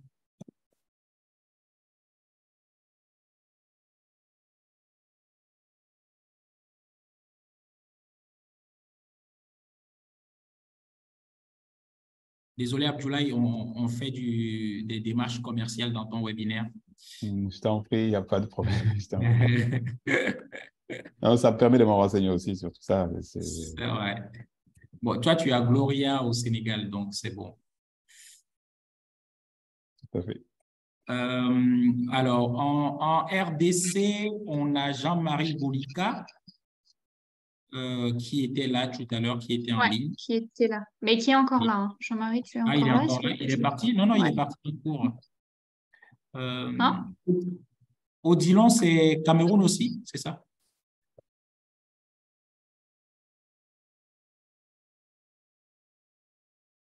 Et Sylvain en Côte d'Ivoire.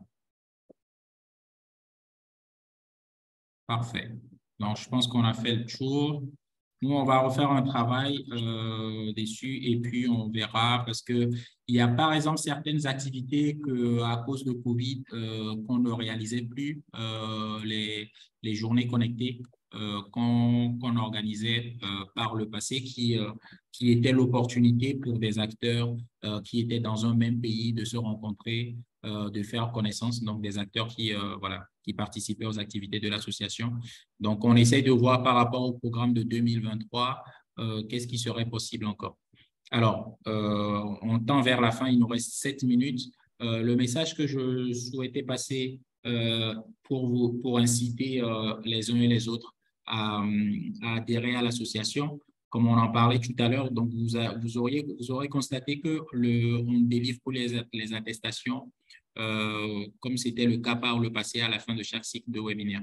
Et donc, un des avantages quand vous devenez membre ou adhérez euh, à l'association, euh, c'est que les cycles de webinaire qu'on organisera, il n'y a que les adhérents à l'association qui auront les, le, les, attestations de participation. Alors, il y a autre chose qui est intéressante aussi avec lorsque vous adhérez à l'association, c'est que vous avez la primeur des, des, informations et des événements. Donc, euh, euh, vous êtes toujours en tête de liste quand on veut communiquer sur nos projets. On a euh, les journées connectées avec les adhérents pour pouvoir collecter vos avis, recevoir vos suggestions. Vos suggestions. vous nous aidez dans, dans la préparation des contenus de webinaires.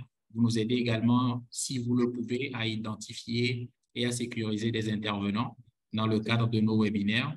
Et, plus loin, lorsque nous avons des, activités de formation, on priorise, on, accorde la priorité aux adhérents de l'association du moment où celle-ci, ceux-ci respectent les, les, critères de formation ou les critères pour lesquels les projets sont lancés.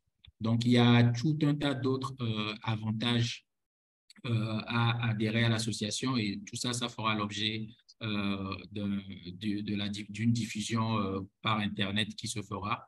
Et donc, je vous exhorte beaucoup, non seulement en nous suivant sur les réseaux sociaux, mais aussi de toujours prendre du temps pour lire le contenu des, des, notes d'information qu'on partage avec vous sur, sur vos adresses email. Donc, voilà euh, l'apport que je voulais faire. Donc, je ne sais pas si Anne-Sophie, tu as quelque chose pour compléter.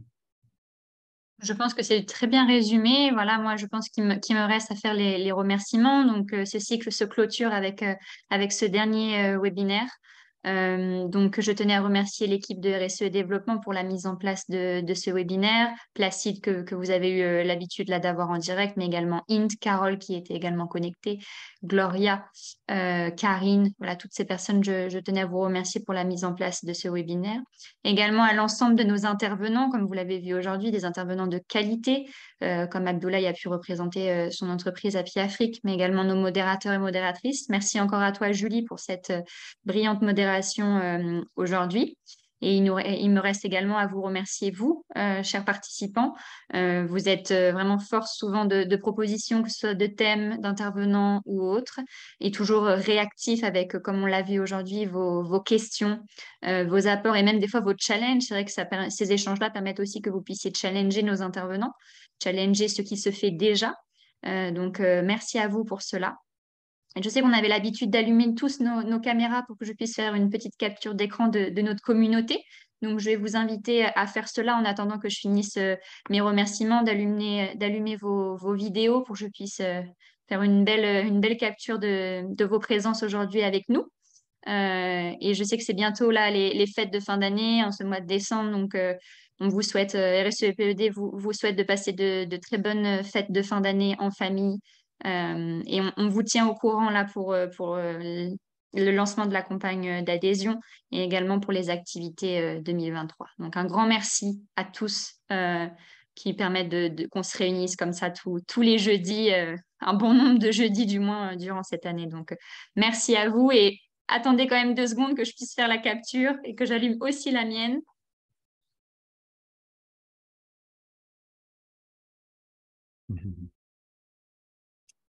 Merci beaucoup, Sophie. Ok, super. Merci à vous. Merci à tout le monde. Merci, Julie.